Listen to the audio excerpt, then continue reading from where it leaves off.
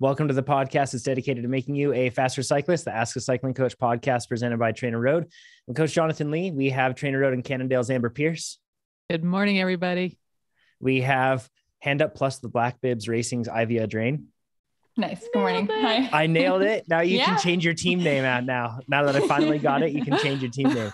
Great. And we also have Santa Cruz, uh, Santa Cruz SRAM, Rapha, lots of different sponsors. Keegan Swenson. What's up, Keegan? Hey, thanks for having me. Uh, a current American national champion in cross country mountain biking, as well as uh, short track cross country as well, and Leadville champion. And now you're getting ready to take on the Lifetime Grand Prix. Yeah, yeah, looking forward to it. We're going to get into that later. We'll get into lots of other stuff. Um, but for those that are listening in, we appreciate you. You can subscribe to this podcast so auto downloads and you don't miss an episode on whatever platform you're using. You can rate the podcast. We would love that. You can share it with people. Also, we would love that. For everybody joining us on YouTube, good to have you. You can join in Thursdays at 8 a.m. Pacific and give this video a thumbs up right now if you're watching on YouTube, because that makes it so that other cyclists will also find it. They'll say, hey, this person likes cycling content and they like this video. I'm going to find other people that like cycling content and give it to them right now. And that's how it works. So uh, check that out. Uh, we are going to cover a handful of things today. We're going to talk about consistency and what each of these really high profile athletes do, uh, or high level athletes, I should say, do to maintain consistency or what they've done at different points in their career to maintain consistency when it was challenging. We're going to talk about disappointing races and how to manage expectations. We're also going to talk about peaking too early, or perhaps better said, kind of like when you really have a just you're firing through the base phase and you see a whole lot of improvement, what that means for the rest of your season. We're also going to talk about lots of other things too. Uh, but just the same, uh, let's kick this thing off really quick. Keegan, I wanted to do a catch up with you because I think it's been somewhere around five months or so since you've been on the podcast. It's been a while. Wow. Maybe that's not right.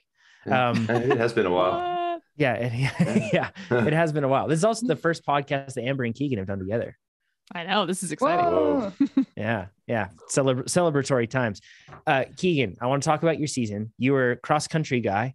Now you are gravel guy, uh, but you're also a cross country guy still at the same time. Mhm. So, what have you changed about your training? Like, what's changed going from 90 minute XCO being your main thing as you are working toward a Tokyo qualification as your main goal? Mhm. Now you've got things like Unbound that could be 10 to 12 hours for for you depending on conditions. Yeah, I mean, as of like, I mean, over the winter, like December, January, February, hasn't changed a whole lot. Um, just a bit more volume, and it seems like we backed off the intensity a little bit. Um, but yeah, I mean, in general, I do do like a fair bit of volume for like a cross country athlete. So I think we're just adding, I mean, adding a couple hours here and there, and more six hour rides, a couple seven or eight hour rides. Um, and then I did do like this a big nine day block as well, um, just to kind of like do something completely different from what I've done in the past and kind of shock the system a bit. How many hours in nine days? Uh, about 41, Cool. 42. Um, how many and what were you doing in that time? Like, did you have interval structure or was it all just low Yeah, I mean- intensity? Pretty much every day had structure. The only day there was two days, I guess there was four days. There we did two shootouts in that block. Um, so that's just So a still high two song intensity. group ride, which is intensity. yeah. And But then no structure. the non-structured days the other one was like a four hour hard endurance day and plus so we call it and then the other one was just a ended up being seven and a half hour like just kind of regular endurance day but otherwise the rest of that block was filled with sweet so spot okay, I let's hold on.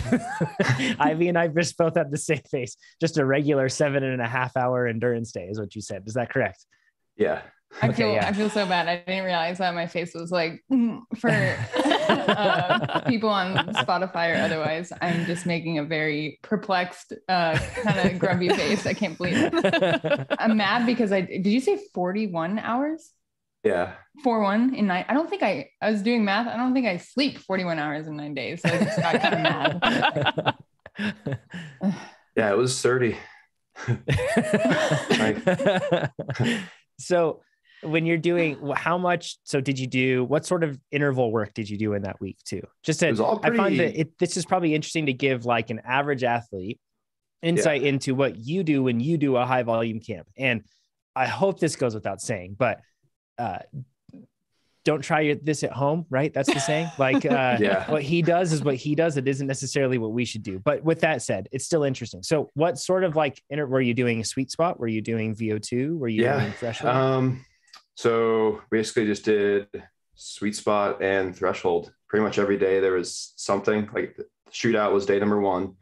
And then Sunday we did two by 20 LTs with some tempo warm up and some other stuff. And that was, that was honestly like the hardest day for me. Cause I hadn't, I haven't done any, hadn't done any LT work before this camp. So that one kind of was like a little kick in the teeth. I was like, oh man, this is pretty brutal. And then it's funny that like a few days later, we'd done some, a few sweet spot workouts, like two by 30s, whatever. And then that later that Friday, um, the Queen stage, as my coach called it, that one was three by 20 LT. And wow. I felt better that day than I did on my two by 20s. And I think for me, a lot of it's just like getting used to that, like that feeling of going that hard. Um, I don't know, at a certain point you get fatigued and you just kind of like, you just stay in this hole and it's like, it's kind of fine. You just, you wake up and you do it. And I don't know, it's weird how you can just, just keep going. And then the day after the camp ends, you're, you're just done, you know? but even at that shootout, like I still felt pretty decent. Didn't have as much snap in the legs, obviously, as I normally would, but like still, yeah, it was it was a good something different. You know, I never done anything like that, and like that many days without a rest day and like constant. Almost every day it was over 200 TSS, so it was like every day it was pretty pretty big, and the big days were over 300. So it was like it was a lot, you know. But it was like Mhm. kind of cool to do something different and uh, kind of shock the system with different style of training and a bunch of sweet spot. And we didn't, I didn't really do like I'll ride in sweet spot here and there, but I haven't, haven't done like a lot of structured sweet spot. Um, I think that was one thing we're going to add in a bit more, especially on the flats. For me, that's like learning how to put down like that big sweet spot power, like going like 30 plus miles an hour on the flats is something that I would always need to work on. And I think it's important for these gravel races, right? So um, yeah, that was that was the camp. And luckily, Just- uh, I think Go on. Ivy and Amber both want to chime in. Oh, I don't know how many days you had to take off. How many days you had to chill out after that? Um, I took one day off and then took two like recovery ride days, and then it was actually going pretty good. Like the shootout the next weekend was one of my like I felt really good that weekend. So I think I'd say it was like maybe four days of chilling. How And much then, did you eat uh, in those four days? Yeah, A lot. it was like it didn't stop, you know, like after the camp, because the whole camp I was trying to eat as much as I could to stay on top of it. And then it was just like fire just kept burning for a few days. And then finally feel like I got caught up. But Yeah. Yeah. I just wanted to jump in and share with listeners who might not be familiar. The shootout is a really well known group ride. It's a very fast kind of race simulation group ride. So when we're mentioning shootout, that's what we're referring to. Yeah, it's pretty, pretty special. I think it's one of the coolest group rides. I mean, I'd argue in the world we have in here in Tucson. I mean, it's like a nice, gentle, like between one and like 3% climb with a couple little bumps. And it's like a 40 minute segment. The road is pretty straight, no stoplights, no stop signs. Um, Very little traffic. very little traffic, and it's just full gas. That's cool. And then Basically, after like, that- a, like a Cat One Pro race every weekend. Yeah, you have like Ben Hoffman, Sam Long, like these like really good, like old, like long distance triathletes. Mm-hmm. And then you'll have, you know, even like ITU athletes on the tri side will show up and do it. And then you have every type of cyclist you could imagine as well mixed Yeah, in. have- It's just really like, cool. Last weekend we had like the Project Echelon team was in town doing a camp, so those guys like their whole squad was there. We had the Fort Lewis cycling team there. Like there was, it's just cool to have like the variety. There's XCO athletes, like everyone. So it's a lot Yeah. of fun. And then it's cool because you ride hard. And then after that, everyone like has a truce at a certain point on the course and Mhm. everyone kind of regroups and you chill and like ride at a slower pace. Forgive me. And then after that, you kind of loop back around to the same road you were on, just going the other way. And then the gas is back on again at the end. Uh, Mhm. And there's even like options or people like add on to it. It's really cool. So, um, another thing I want to say. So you mentioned that you don't do a whole lot of structured sweet spot, but you spend a lot of time riding in what you call end plus, which is like just above endurance. So you're in tempo zone, right? Mhm. Which uh, many people say is the gray zone, and you're wasting your time, Keegan. So I don't know why you ride there, but um, just but just the same, you spend a lot of time riding close to sweet spot and around there. but you don't necessarily do a lot of you hadn't done a whole lot of structured work there before. Is that like an accurate yeah, assessment? and I do. It's funny. I do do a lot of but times I've done the most sweet spot is kind of like opening openers for races. Like let's say like I'm kind of tapering for a race. I'll have like like a few easy days early in the week, and then like the Friday before I'll do like three by ten sweet spot as an opener with like some one minute VO2 efforts as well. And for me, like that sweet spot's a good zone to kind of get get everything opened up without like causing too much fatigue in the legs. Mm-hmm. Um, yeah, then those N plus rides, like I'll ride make kind of a hard endurance pace on the flats. And then if I feel like going harder up the climbs, I'll ride like tempo, maybe tapping like bump off sweet spot a little bit here and there. Um, yeah. So it's like I'm in that zone a bit, but I'm not always like we're not always doing structure in it, if that makes sense.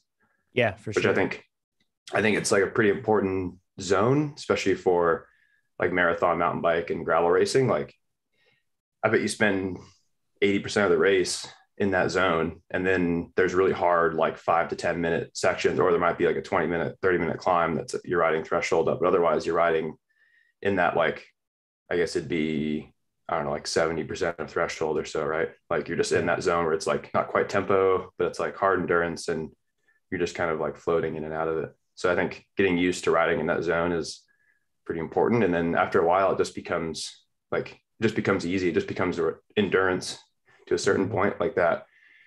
We had that one, that one four hour hard endurance ride over that nine day block. And Russell and I are both like, oh man, we get a recovery day. This is sweet. You just have to go ride mm-hmm.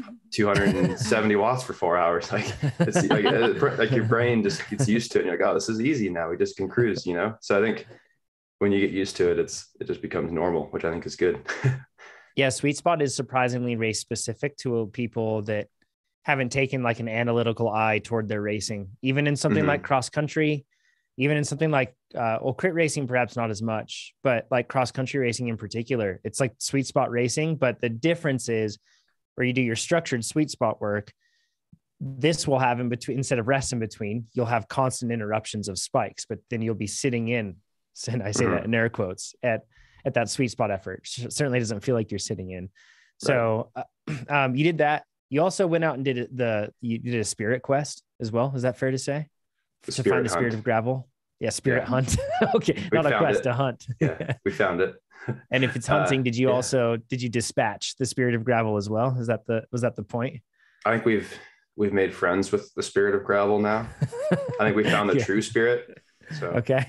what was this? Um, what was this camp that you did? no, yeah, this was something um, Russell and I uh, last year we like cooked up this idea to go do like a see three or four day camp in southern Arizona. And last year was actually just going to be on road bikes. Like we're going to ride down through Patagonia and Bisbee and like all these other little towns down there. And then some nasty weather came in and it rained and we are like, oh, we're just not, I'm not going to bother with that right now. So then uh, we got, then we started racing and all of a sudden we left Tucson and we never ended up doing it. So this year, like, oh, we should do, might try and do that again, but make it a gravel camp. Cause I kind of feel like when I race a gravel bike, it feels like almost foreign to me. Like it's something that I haven't spent a lot of time on. I'm not like, I can go fast on it, but I'm not really comfortable with like like the position's a little different, descending's different. Like you have all these small intricacies that like you're not quite used to the tire pressure. Like you just don't. You, it's just I'm not familiar with it, you know.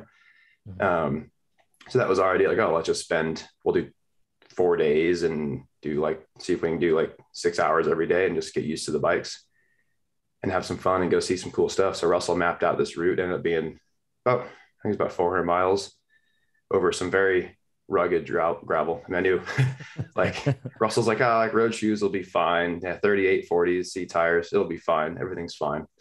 and you know, there was some baby heads and some chunk and like it was cool. There were some days where it was, it was like, oh, this is pretty, pretty slow moving.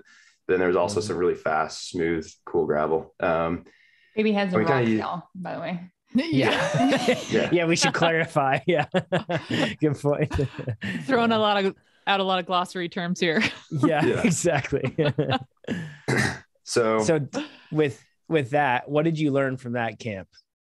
Yeah, I mean, I guess we kind of learned um I mean for the big thing, like we learned like I guess you just get used to sitting on the bike so long you get beat up and like you're just out there, you know, like the biggest day was we were it was like seven and a half hours, but you're carrying all your stuff. Like we weren't camping. We were in Airbnbs and hotels. So it was pretty light, like just a, a saddle bag and bar bag and stuff. So it was pretty minimal, but still adds an extra like I don't know, probably 25 pounds, especially when you have all the mm-hmm. water. And we were also like trying to figure out like kind of nutrition and hydration, like kind of what we can get away with. I think some of these races, you have to push the limits of like what, like maybe you're not getting optimal amount of water or whatever, but maybe it's faster. And like, I'm not like mm-hmm. standing up t- telling people to train dehydrated, but I think there is like a time and place, like experiment with that stuff and like push the limits of what you think you actually need and what you can get away with. Um, and we also rode pretty hard. I mean, every day we were trying to ride, you know, I think we rode like between 230 and 250 watts with like some hard efforts up climbs just because we're like, oh, we're six hours in, let's race up this climb to see what it feels like to go that hard seven hours in to a, to a hard ride, you know? Um, so yeah, that was, it was cool. It was a good way to get in a big solid training block and get comfortable on the bikes and, um, kind of see some cool terrain. So I think you can mix fun with adventure and training all at the same time if you do it right. Look at this. Cool. All these cross country mountain bikers that used to just like run in little circles and now they're doing big things like uh yeah big like adventurous routes released from our cage you know yeah exactly and it's like it's cool because it's training like I mean we did 24 hours in four days of riding you know which is like yeah. a pretty big block um, and with um, cross country olympic you have to be much more like structured and specific about a lot of what you do. Whereas with gravel, is a whole lot more of it is building endurance and everything else like you're doing. So yeah, mm-hmm. it makes sense, especially when you're talking about performing at the front end because you're not showing up to a single one of those races not to win it. You know, so right. that's like a, a slightly different approach than if you're just going to finish it, right? Um, yeah, and even and get I, like a good personal time. It's very different than what you do to to win it and to beat everybody else. So. Yeah, and there's a lot of small intricacies that go into these like long, like eight, 10 hour races. Like, sure, you can get away with training for five to six hours, but I think there's a lot you can learn about like maybe your bike setup's not right and your hands start to hurt after eight hours and you need to like change this and that. So I think that's where like us being like from coming from XCO where it's all short and you have like, see, like you're not ever like sure your position might not be like the most comfortable, but it's fast and you like it and it descends, it descends well, it climbs well, it's fine. But for these long races, I think you need to like spend time in that position and make sure the bike's good. And we're like, I'm like, man, I rode all this gnarly stuff on 38C tires. Like maybe I don't need to ride. I don't need to follow the norm and do what everyone else is doing. Like I can get away with smaller tires and mm. like there's other there's so many things like I didn't realize like that was fine. I did the whole trip on 40C bars. Like I've been playing with different setups and like it works fine for me. So I think there's like things you learn that mm. that work. So yeah, that's swapping out those weekend rides, right, Amber? Um, mm-hmm. Whatever your scheduled weekend ride is, you can swap it out for a longer endurance one with Trainer Road. That's a good way to do it. So you can get yeah. that that prep um, for sure. Okay, last thing to check in with you on this weekend. So tomorrow, I'm flying out bright and early down to Tucson, uh, and you are also going there for 24 hours in the old Pueblo, which we've done as a podcast team before that was uh that was a just an absolute gong show over there. That was like it was, it was terrible. We had people getting hurt and it was bad. Um, people just deciding like i don't really want to ride at night. And then some of us just doing back to back to back laps at night trying to make up for it. It was miserable. So this year uh, i'm doing it again and i'm doing it with a totally different team. My brother i've never done a bike race with my brother. In fact i don't know if my brother has done a bike race. Maybe he's done a couple but he really wants to do this one. So I'm super excited. So I'm on a team with my brother, uh, his boss, which will be fun. Uh, his boss is coming too. And then uh, I guess if you're going to take time off, why not bring your boss? And then uh, the other thing too, we have like a handful of friends that are going to do this. Ryan Standish, another TrainerRoad employee, also known as Jorts guy uh, on the internet. He's going to be on the team. Sophia's on our team. Uh, it's going to be a fun group. Sean Estes, good friend of mine. So uh, we're going to all be in a team, but you are doing it solo. And you're not just doing it solo because you want to go rack up a lot of time or because you don't get along well with others. You want to go because you actually want to like set a record. Is that is that the case? Like, do you want to go for the record? Yeah. I mean, I'm not doing it like I'm doing it for fun, but like I also air quotes. I don't like if I'm gonna go do something like this, I want to try and get the record, you know? Yeah. Um, so yeah, like I kind of know what I'm getting myself into, but I also I also realize I really have no idea what I'm doing, which is kind of cool. like I think I'm as well prepared as I can be. Like I have an awesome support crew. Like I have you know Myron, team manager Jordan, Tobin's out here to help. Um, Josh Tostado's can help me in the pits. He was actually going to race, but sadly he broke his hand a couple weeks ago, so he's out. Mm-hmm. He is one of the solo animals. He's done it a ton of times. He's won it before, and he's you know just a ultra marathon beast. So I think it'd be cool to have him helping me. So I think I've got enough people in my corner that I think they'll I'll make it through. but I was thinking about it last night. I was like, man, it's going to be a long, it's a long bike ride. I mean, that's like a lot. Can, let's know. put that in context. So, what's the record right now? Is it 20 laps? It's 20 laps. Yeah. So you'd have to do 21 laps. Each lap takes about an hour. Uh, well, for for you probably. I don't know. We'll we'll see. Maybe a bit longer than that. Trying I to might... do. If I do like hour 10, like I think that's that's kind of my goal. Yeah. Hour 10, hour 15. Consistent. What did I say? I think it was 286 NP for me was an hour and two minutes, I think. Yeah. So, and then that AP on that was like 254. Um, so it's pretty constant for a mountain bike course, but there's still time to surge and everything else. Mm-hmm. So, and I think it's what it's uh, in that case, somewhere around like 16 or 18 miles, I think, or 17 I miles. 16 miles. Yeah, 17 miles a lap. So, be, so if you do, geez, that I'm going to do math really be quick. 366 miles, I think. That's a lot Ouch. in a day. Yeah. that is a lot. That's a ton. Yeah, yeah. That and I'm trying, my goal is to try and break a thousand TSS. If I can do like a 1100 or 1200, that'd be pretty cool. that'd be pretty cool. He says. yeah. Uh, well, okay. Do you, uh, should we just wait? Because I also know that Monster, one of your sponsors, is going to be documenting this. So I don't want to like give away any, you know, unique approach things that you're working on. I mean, there's nothing really, really unique. I mean, I think they're going to capture some some interesting stuff out there. um, but yeah, uh, it's going to be pretty crazy. I mean, I've ran through a pretty, I think I have a pretty solid nutrition plan. Uh, my nutritionist and I had a good chat and came up with a good plan, like not planning to hit any caffeine until after midnight. Like everything's just such a different approach than a normal bike race. Like you're thinking like you just got to play the long game, you know, not get caught up in going too hard too early and like really focus on eating like somewhat of a solid solid meals every i'm planning to eat something decent every like i don't know about every four hours and in between there you know kind of run off like junk food more or less mm-hmm. you know mm-hmm. like simple things little like white bread sandwiches and stuff like that um Oreos and you know trying to avoid gels and like too much race food because mm-hmm. I think that's just gonna like really mess with my stomach after that long. Maybe save yeah. those for like when I'm just sick of eating and don't want to chew on anything anymore or mess with anything. I can start moving to gels then. Um, yeah, and I have you know multiple like I have two blurs set up, so they're both going to be identical, both blur TRs. So those are that's your mountain bike full suspension. Yeah, and yeah, you're running 120 mil of travel on it. Yeah, which I think sounds like it's pretty overkill for this course, but uh, like a lot of people race hardtails, but I think when you're out there that long, like I think being comfortable is the most important part.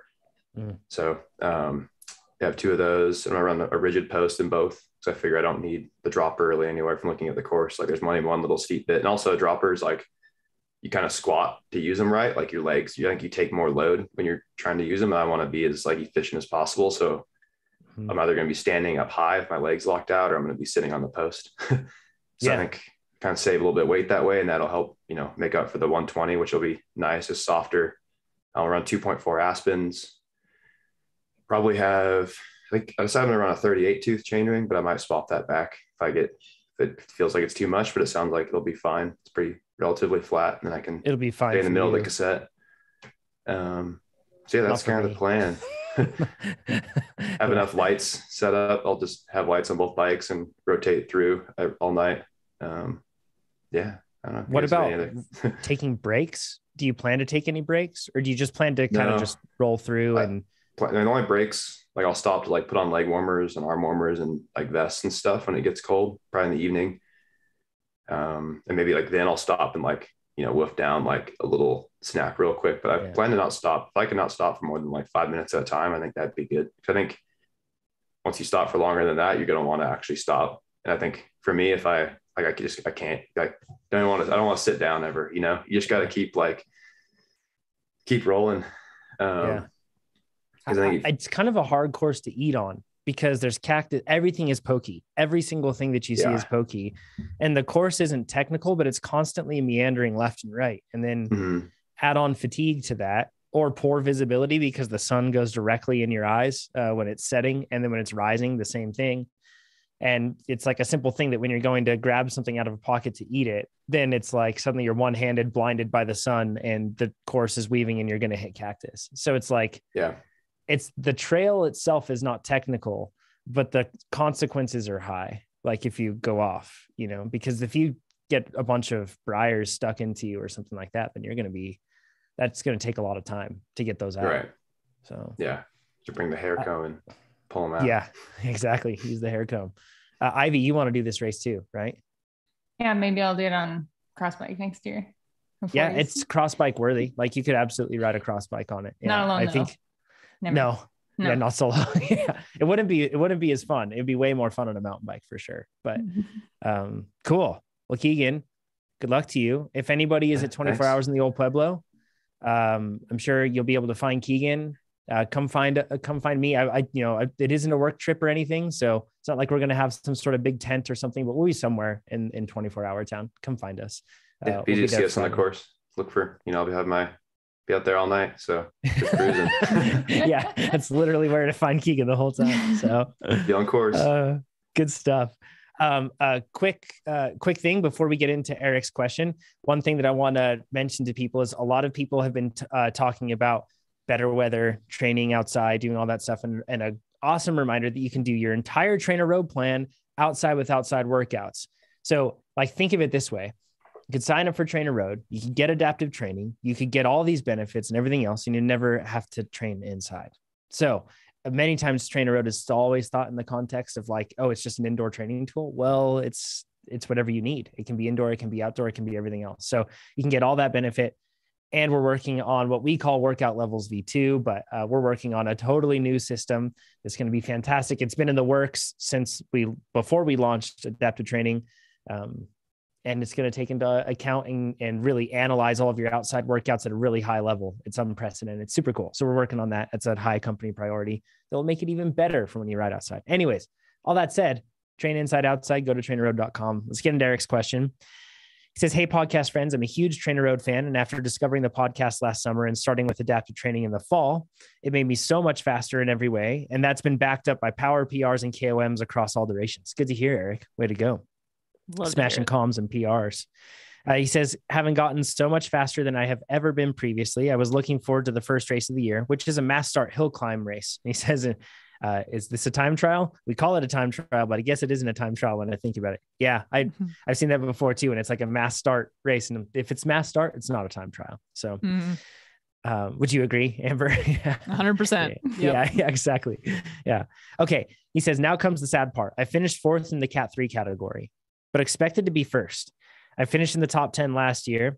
And while I was faster by just over a minute this year on an 18 minute climb, my power PRs and times on segments suggest I should have been at least two minutes better, which would have put me in first place. Have any of you experienced this before? Why aren't my gains transferring to a race scenario? Good question, Amber. What's I mean, you've been through a whole lot of seasons where you've been like early season prep and then showing up for those first races of the season. Yeah. So there's a lot that goes into managing expectations uh, for the first race of the year. And I want to get into that more generally in a second. But first thing I want to say here is mass start versus time trial is a really, really big differentiator. And so what's happening with the people around you in a mass start race is going to have a huge impact on what you actually do, even if you're not necessarily conscious of it at, at, at the time. So there's going to be a lot of variability between what happened last year and what happened this year. Not the least of which is what your competitors have been doing. And the last couple years, we haven't had a lot of race opportunities. So I think a lot of people have been putting some big miles into their training. So you probably aren't the only one coming back with huge gains. Um, and that's one of the things that we see with racing. And I see Ivy's got some good thoughts on here too that I 100% agree with. So I want to turn it over to her for some comments too. Cool. Yeah, I call this uh, race math or results math, and and it, Race math is not good math. no, it's not. It, it's, can be so self-destructive, uh, especially in individual events when stuff can change so much on the day. Um, for like a time trial setting, when you have some sort of target in mind, um, even if you've been on the road or the course a hundred times, stuff can be different that day. Your equipment can be different, temperature, wind, like whatever. Um, and so, kind of pinholing yourself into what you expect can sometimes limit you too. Um, mm. And then when it doesn't go to plan and you're seeing like having to reconcile with in the moment that it's not going to plan based upon your race math um, you have to like reconcile with it in that moment and think about that during a race instead of just racing and focusing on your effort and there are some major pitfalls with that that's when you can mm-hmm. start spiraling too right? Where you suddenly are like uh, actually we've mentioned this before keegan with cross country olympic racing with you where like it's like shoot i'm not where i thought i was going to be. And then like it's really easy to fall into this cycle then just be like like what's your problem? Why aren't you there? What's your problem? Why aren't you there? Like why are you sucking? And then that doesn't really help. Like like it just makes it worse right? Yeah it's I mean, it's definitely kind of tricky to find that balance of like just your pressure on yourself to perform and you also like you i know i'm fitter than i was but like it's sometimes you have to put the race aside and focus I mean, it's a little different than a hill climb time trial, but for a cross country race, sometimes you have to focus on yourself and less about the race and treat it as more of like a time trial. That makes sense. And just do your thing, and the result is going to be what it's going to be. Um, it's just different than when you're racing. When you're racing the front, if you're racing for a certain position, like there's just like there's so many variables there. I think go back to your hill climb TT here. Um, it's hard. Like you want to go and set the fastest time on the course, then you obviously have to go out and ride the your limit for that segment, right? And that might not be the best way to win the race because someone can just sit on your wheel. And even though it's a hill climb, they're still getting a small draft and then they can come around you to finish. Like I think for racing, you want to win the race with the least amount of work possible. So if you can win the race and have a lower power, lower power numbers, lower watt per kg than everyone else in the race, then you've really won the race and you've done the best job possible. Because that means you want it easily. um, so you, you would sit in, let's everyone else do the work. And maybe that maybe your segment times were slower and maybe the hill climb was slower than before, but you won the race. So I think it's mm. hard to really like look at this segment and be like, oh, I'm not as fit as I was, even though I should be. Like it's really hard to you just can't you just can't let that get in your head. I mean, there's definitely been races where like, oh, I should have been faster, like I'm so much fitter this year, but you still won, or I still won the mm-hmm. race because it's different conditions. There's wind, there's like you don't know how everyone else wants to race it. So, I mean, it's really like a hard thing to to balance. Like, if you want to go out and do it fast, then just attack from the bottom, and you're going to risk someone sitting on and nipping you at the finish. But maybe you're going to set a better power PR and a better like a better t- segment time. So it's you got to find what you want out of it, I guess. Yeah, there's different yeah. measures of success, right, Ivy? Right. Yeah, and um, Eric obviously knows their own strengths very well based upon mm-hmm. their their race math and down to the minute of they should have done. Um, and so they should try to capitalize on some of those strengths. Like I feel like they must know um, broken down by by time what their strengths are. Um, like for the next next mass start rate race, do what Keegan suggested and try to sit in and chill out.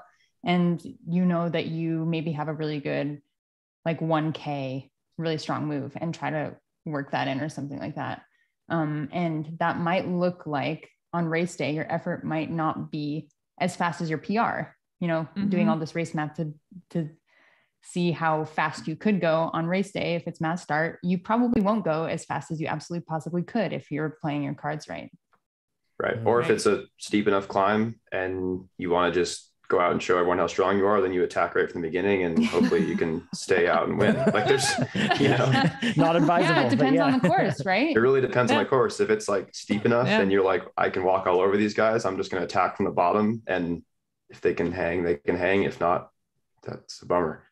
so I think there's like so many ways you can go about it. But if there's if there's a lot, if there's drafting involved, if it's like I'd say if it's like under like eight percent or you know six to eight percent, then there's going to be drafting. If it's over like eight or 10, there's pro- you're probably going slow enough that drafting is really irrelevant. And it's more just a motivation of staring at someone's wheel than anything. Mm-hmm. Mm-hmm. So, cause even, and even then, yeah. Oh, sorry. Go ahead, Keegan. Oh, I was going to say like, even if you're not drafting, you're still staring at the wheel and it helps a lot to like, you're like, I'm not just not going to come off. You know, that's one thing I learned like in the shootout, like Alexey Vermeulen and I were having a good race up the Madera climb and I would attack, and he would counter attack. And even though you're not getting a draft, you're just staring at the hub, like, don't come off, don't come off. He's going to slow down. Eventually, it's going to get easier. So I think like there's a more there's more to that than you might think there is. Mm-hmm. Yeah. It's not just about the drafting. When there are other people around you pushing the pace, it's going to affect your pacing because you're going to be influenced by what other people around you are doing. And it's really hard not to be when it's a mass start event. In an individual time trial, it really is just you and you can be very internally mm-hmm. focused and pace according to what you want to do. But in a mass start event, even when there's no drafting, there is going to be an influence of the other riders on you. So that's a really important factor yeah. that's hard to account for with math. yeah. Even if they're even if they're behind you and you let's say you have like a 20 second gap, that motivation to stay ahead of them is still going to yes. be greater than when you're on your own. It's like you see the pack back there, go, I'm gonna go harder so they don't catch me. So like there's still there's that kind of motivation too. Mm-hmm. And after yeah. after this, after these like disappointing races, um, maybe Amber, you can share a bit on this, but like you can either look at it as like, man, I failed. And then you can question all of your training, which I think for a lot of us endurance athletes is our initial natural reaction. It's like the unbridled mm reaction where we're like, well, because of one single effort, I am going to completely invalidate the months of work that I did prior to this. I'm just going to throw them out. They they hmm. were wrong and they don't matter and everything is wrong and I need to change everything. Or you right. can look at it from a different perspective. Amber, how would you like if you were uh, if you were coaching an athlete through a situation like this what are the things that you would encourage them to do when they look back and reflect on that disappointing race well i would want them to not do what i usually do is you get a really awesome you know off season of training. You've been building up to your race season. You feel awesome. You're flying. Like you said you've got prs you know you're mm-hmm. crushing it and you just can't wait to get into a race and show what you can do. And then it doesn't go to plan. So then I would go back to my coach and say, okay, so I really need to work on my climbing, but we also need to get my sprinting up to par. And I really need to get my steady state going. And basically, like, I need to work on all of the things. Repeatability is low. Repeatability, like, I need to do all the things. And it's it's hard not to get excited when you know you have good fitness and to put all of those hopes into the very first race but you have to remember it's that long-term vision. This your season isn't all about one race and one race or one day is not going to determine the quality or the success that you're going to see in a season. You have to remember that you're in this for the long haul. It wasn't like you were tapering up for this one perfect day, right? Um, so what I suggest again is look at this through the lens of curiosity you're going to learn a lot about the competitors that you'll be going up against for the rest of the season. So this is an awesome opportunity to say, "Hey, who's coming out of the offseason flying this year, who may have put in a lot of work next year from last year that I need to look at this season. So you start to see who you need to be keying off from maybe in some future races coming down the pipe. Um, but really it, it's it's about approaching that first race with a sense of curiosity framed in the like the, framed in that knowledge that you are facing an entire season and mm. a lot can change over a couple weeks a lot definitely a lot can change over a few months so you know settle in for the long haul and just see how much you can learn from each race what what were you able to learn from this race maybe one of mm. those mm. things is that race math doesn't always add up the way that we would like it to um, but yeah managing expectations is is a lot easier when you approach it from the perspective of curiosity what can i learn yeah. about myself as an athlete and what can i apply in the future? I typically I think... would try to find in the beginning of every season like races that I did not care about, like mm-hmm. C races, B races, whatever it might be, but like fill it in with races or group rides that are like hard group rides that are kind of like race simulation ones. We were talking about the Tucson shootout earlier. Mm-hmm. Um, if you fill, if you have opportunities like that, where you approach it with curiosity and zero expectation, it makes it really easy to to learn from those events and learn from those because we all get rusty. We forget how mm-hmm. and then also like with new fitness comes new ways to execute too. That's something that we probably don't talk yeah. about a whole lot but if suddenly you're really good at steady state power um, but your you know repeatability has dropped off that doesn't mean that you're a worse athlete. It just means that you have to execute differently. And you might be really successful uh, if you can find the right way to use those tools that you've built so it's it's more about like you, you have to give yourself time to figure it out every year. That's normal.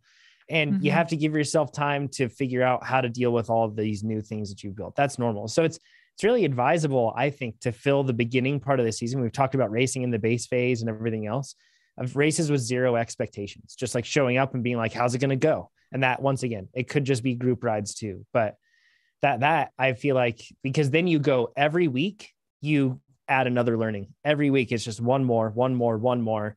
And then you really know how to use your fitness and how to race well. It's pretty cool. I think it's a, Yeah, I a think- great approach. you can also just kind of piggyback on what you just said like you race you learn to race differently with the fitness you have because i know like for example like early season i don't have a very good repeatability and i don't have very good like snap but i can ride at a really high like high sweet spot or high threshold pace for a long time so you can change your tactics of how how you're gonna how, how that race is gonna play out like i would never like i'd never do a cross country race this time of year and like wait for the sprint, right? Like I'm gonna try and make it hard from the beginning. And like this is the pace I'm gonna ride. And because I know I can do this, and hopefully this is hard for everyone else because I don't want to want I don't want it to come down to the last two climbs because maybe I'm not I'm not prepared for that kind of effort. So you can also like race to your strengths currently. And maybe later in the year, like, oh, I know I can, I know I can win a sprint. So I'm fine waiting for the sprint. But you have to be like wary of what where your fitness is at and what your strengths are in that for this that blocker month or whatever it may be. And you can change it. So kind of a fun way to go about that with group rides in particular or races it could be but group rides are a fantastic opportunity to do this when they're fast and there's faster people than us which basically every group ride unless you're i don't know maybe amber ivy and keegan have situations where they show up and they are the fastest but i never have that so but in those situations when you're there it's like um, i've done this with our local drop ride which is like the tucson shootout but with reno i basically like week one, I will, if I want to work on repeatability, I will count how many attacks I can do. Right. And if somebody doesn't counterattack me, I'll attack myself. So like if I if I ease up and nobody attacked, I'll be like, okay, now attack number three, now attack number four. And then next week I'll say, I made it 15 attacks, whereas the week before I only made it 10. Like, hey, that's progress. And like little, you kind of like want to push the limits with those with these low consequence races or race sim group rides. You want to push that's a good way to push the limits to be like if i attack again i'm going to absolutely explode but let's just try it and let's see what happens. And you just keep trying approaching it with curiosity like amber says because then at that point that's when you can actually stretch your limits. Whereas Mhm. you show up to a race like this and eric i'm, I'm not criticizing your approach. Hopefully you can learn from this. You show up to a race and you're like okay i've done the race math like ivy said i know that i can do this and i can do this. So you set very clear bounds for you to operate within which totally makes sense when you're talking like a race territory. Like there's still you need to leave room for curiosity on those days too. But at a beginning first race of the season i personally think that that's not the approach to go. You shouldn't be finding limits for yourself. You should just be going into it and just being like let's see how it all unfolds so give yourself opportunities to be able to like explore uncharted very uncomfortable territory and that's how you'll end up getting more out of yourself so any other advice for eric that's a good question eric thank you Mhm. Job on getting faster, Eric. yeah, way to go man. Let's not lose You're sight gonna- of that part. yeah and, and here's the cool part is that with all the improvement that you've made moving forward if you can find other race opportunities for this you're going to have a banner year like it's going to be the best year you've had so it's pretty exciting stuff. Uh, chris says longtime listener recent convert watcher. That must mean that you're on youtube uh, with us. Chris if you're here good to see you. Uh, first time caller. He says thanks for all that you do. I've come to the end of yet another very consistent and fruitful base season with great improvements to show for it, but I'm lacking motivation. I've always pursued the same racing goals every year with my local mountain bike series serving as C and B races and our XC state championship serving as my A race. But this year, I'm just not motivated to do those events. Don't get me wrong, I'm still willing to do the work, but I feel like I need a fresh start in terms of racing. I'm a mid pack finisher, so I'm not motivated by a win as it is out of reach for me. So I guess I'm just a bit bored with just finishing mid pack at the same races every year.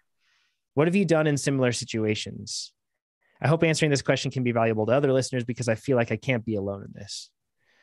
Yeah, for sure. Um, not being alone in this, you're not at all, Chris. Uh, that happens with plenty of athletes. Uh, Keegan, you're taking on like these big, long ultra endurance events. It's a totally different thing for you, even though you've done long things before, but it's a very different focus.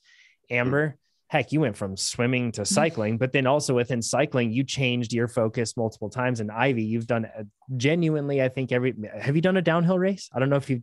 Maybe that's the only thing you haven't done. No, I haven't. That's a bad idea. I'm not going to do that. but- Actually, you rip on descents. You'd be really good at it. I Oh, bet. thanks. um so no chris like this is normal first of all to Mhm. feel like you're uh, uh what do we want to call it like stagnant or uh, the racing experience becomes stale for you yeah totally that's and don't feel bad about that either like that that's not something that is on you that's just the way things go um yeah i, I feel like for me if i don't find what sparks joy like to take a marie kondo thing here if I don't find what sparks joy in bike racing, then it is really tough to get motivation. What do we all find for motivation in terms of like, um, I guess, with cycling events in particular? Perhaps you can share a moment when you changed that, when like you started focusing on something differently and why you made that decision. Amber, do you have, do you want to lead us off on this? Sure. Um, I've gone through a few different shifts on this front, uh, in cycling in particular. Um, when I got started, I was, you know, a relative beginner and I wasn't on a team. And so I was really racing for myself and learning race tactics, which was really fun. And I, I really enjoyed that learning curve. Um, but then I shifted to being on a team and being a teammate and being somebody who was really caring more about what was the result of the team versus my own result. And I know that's hard with mountain biking. Um, part of me wants to recommend that you give road racing a try and find a team and you know work with some teammates. That might not be something that appeals to you. Uh, but now honestly i mean one of the things that has been a common thread throughout my whole career was I, I really enjoy the feeling of being fit. I just do. It feels really good. And i enjoy the process of going from that off season low level of fitness to a high level of fitness. And so i would encourage you to just think about you know what are some other elements about riding that may not even necessarily have to do with racing that might be motivating for you. Right now my main motivation is that i want to i want to feel fit again. I just want to feel like i can hop on my bike and climb up a mountain and feel really good and snappy doing that. And i definitely don't feel like that right now but i know that i can get there and i know i'm going to enjoy that process. Um, so it, it's a really basic thing. And you know if you're looking at a local race series and you want to go because there's a social component to that that's great too. You don't necessarily have to race for a win. If it's a similar course that you're racing it year after year, you can work on improving your time on that course. I mean, there are other ways of framing even a race scenario where you're not on a team. Um, so I would just suggest get get creative and see if something you know resonates with you. Mm. How about you, Ivy? Um, what would you have to share in this situation for Chris? Uh, I'm super transparent in my uh, lack of motivation. Pretty frequently it happens to me all the time. I just it varies. Sometimes I'll have a really good month or a good week, and sometimes it changes daily. And I have bouts of nihilism and training doesn't matter, nothing matters, and I'll try to get to the bottom of why. Um, sometimes it's just like a rest thing or a nutrition thing. Um, but if the answer isn't obvious, I try really hard not to dig into why and figure out why I'm not motivated because that hasn't really worked for me.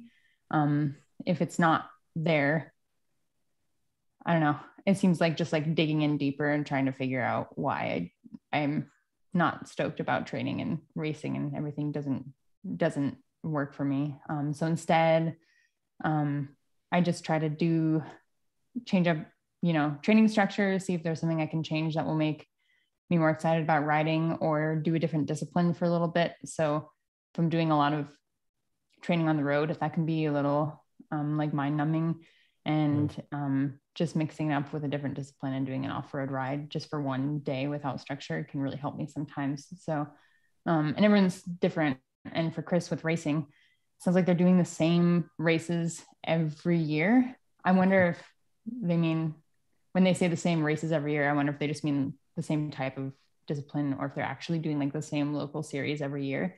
And maybe they just need to mix it up, go find a different race a few hours out of town, make a weekend out of it to keep them excited about something else and other races that are out there. Yeah, I don't think we've ever covered Ivy. What made you change from road racing over to cross? Oh, um, well, I broke so many bones. I broke like half the bones in my body and my teeth and everything. I was so tired of crashing. And uh, I did really struggle with the motivation to train for what it looked like to be really good at road racing. Um, mm. I just didn't, I wasn't motivated to do it anymore. I didn't want to go ride by myself um, on the road where I was worried about my safety and um, with cars. And I wanted to get off of the road and it was too, I just couldn't get motivated to, to be on the road anymore. And, and since then it's now that I do off-road stuff, it's easier to incorporate road rides now that I don't do it all the time and the motivation and so the motivation is there again. Um, but yeah, that's how I got into off-road. I just was absolutely cracked on road racing and crashing and kind of the culture of road racing and everything that surrounds the training for road. I was just I was just done and started just like goofing off on an enduro bike and was like, oh, I like off-road stuff and I still like pedaling really hard. So uh, what can I do? Um, yeah. And then crossing sometimes XC happened. Yeah. Um, and so it's normal to have this transition. First of all, Chris, everybody changes. Now, Keegan, in your case, it's like your job to change because of the Life Time Grand Prix. Uh, and I mean, I uh, I guess I mean you could also just continue to pursue XCO too, and that could also very much right. be your job. But the there is this huge opportunity. So, like, what caused you to shift? Was it is it like and and by the way, I want to normalize this. It's okay for professional motivation to be the goal. Like it's okay mm-hmm. to say there's more money to, to go here because it's your job. It's like what everybody would do at any job. And it's like, hey, there's an opportunity to get more money over here. So that's on the table. That's okay to say. But then also, like, was there anything more to having you switch from shorter races going into ultra endurance? Maybe this was what you always wanted to do, even though you were doing something else. Yeah, I mean, it's it's why I've always I mean, I've raced XCO for I mean since I was a junior. You know, raced. There's like I just realized the other day, I was like, wow, I've raced like this race, like Mount St. Anne, the World Cup, like the last 10, 12 years in a row. Hmm. Um, and I'm just I'm really I'm excited to do something different, but also like I think the marathon stuff has always kind of suited me a little bit better. Like I've always I'd, I'd done. I'm like, man, this is like I like this. It's more fun to me. I think I'm better at it. Um, but there wasn't really a huge platform for it over here. Like there was a couple of gravel races. There was some longer marathon. Like there was the Epic Ride series, and like some other random stuff here and there. But it wasn't quite as big. Um, and then all of a sudden, like these gravel races, like just appeared. It seemed like I guess they'd always kind of been there, but they just like exploded. Um, and I wasn't really sure what I thought of it. I was like, no, no, no, it's kind of, it's kind of weird. Like, I didn't really seem too into it, but I raced one of them. I did the Belgian waffle, uh, the Cedar City one, and I had a ton of fun. I was like, wow, this is really cool. Like, there's tactics, there's a lot of fitness. It's long, it's hard, um, and it's cool. And I think I love these long races because it's really like so much can happen. And it's if you don't give up and you just like keep your keep your head down and keep keep trucking, like you're gonna do well, you know, as long as you don't pull the pin, which I think is kind of a cool style of racing. Like it just it's really difficult. um yeah. and there's a lot that goes into it. You have to have like a you know pretty good repeatable power because there's like a lot of surges and but you also have to have just a big diesel motor for how long these events are. Um, so it's kind of a cool balance of a lot of different things. And there's also still like the technical aspect of like handling skills. And I think even though it's relatively easy compared to mountain bike racing, you're still like you're going fast. And I think it's almost harder in some ways to rip a gravel road quickly, especially when you're kind of shelled.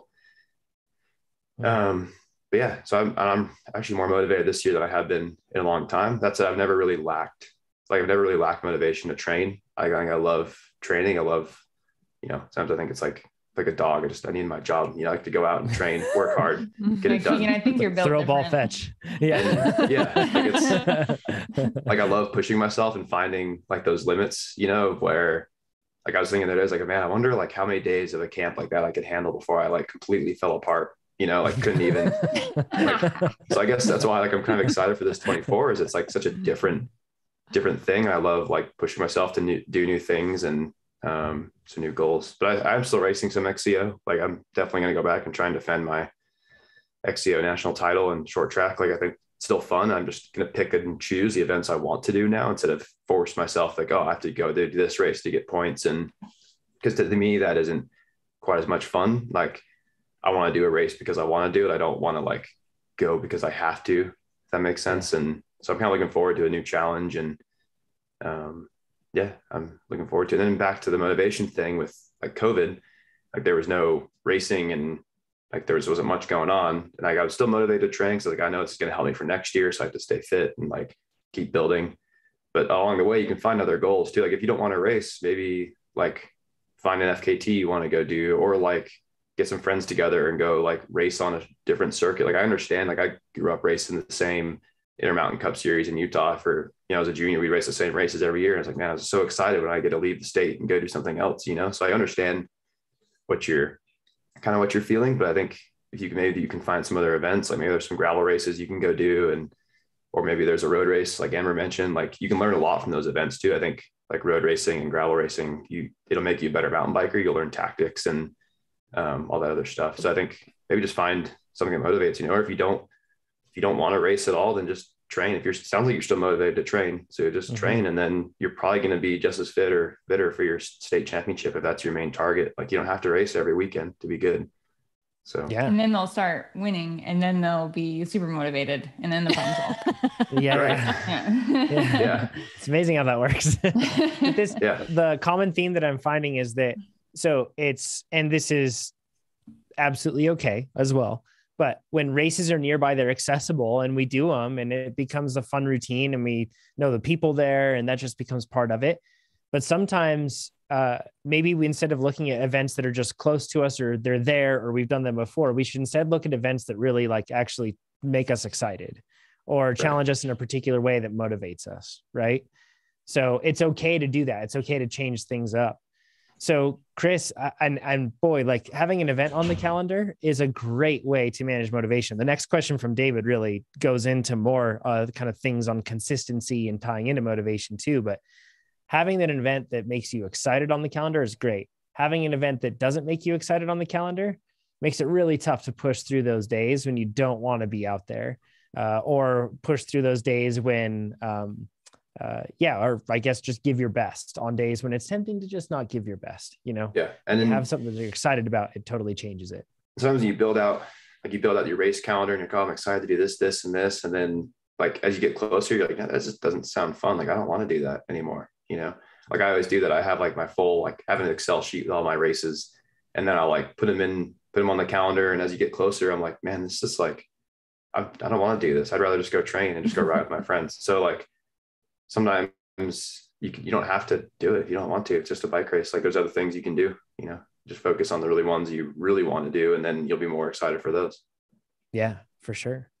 Let's go into David's question. He says, since consistency is so important for long term progress, thank you, David. We say that so much. Um, mm. Everyone wants to know what the secret uh, interval workout is to do, or the secret training plan, or anything else. And it's just consistency. In fact, uh, Nils van der Poel, one of the best speed skaters in the world in the 5K and 10K distances, this year or just recently, he released like basically like he documented all the training that he does on the bike. Which, spoiler alert, I think he trains on the bike more than most pro cyclists. It's insane.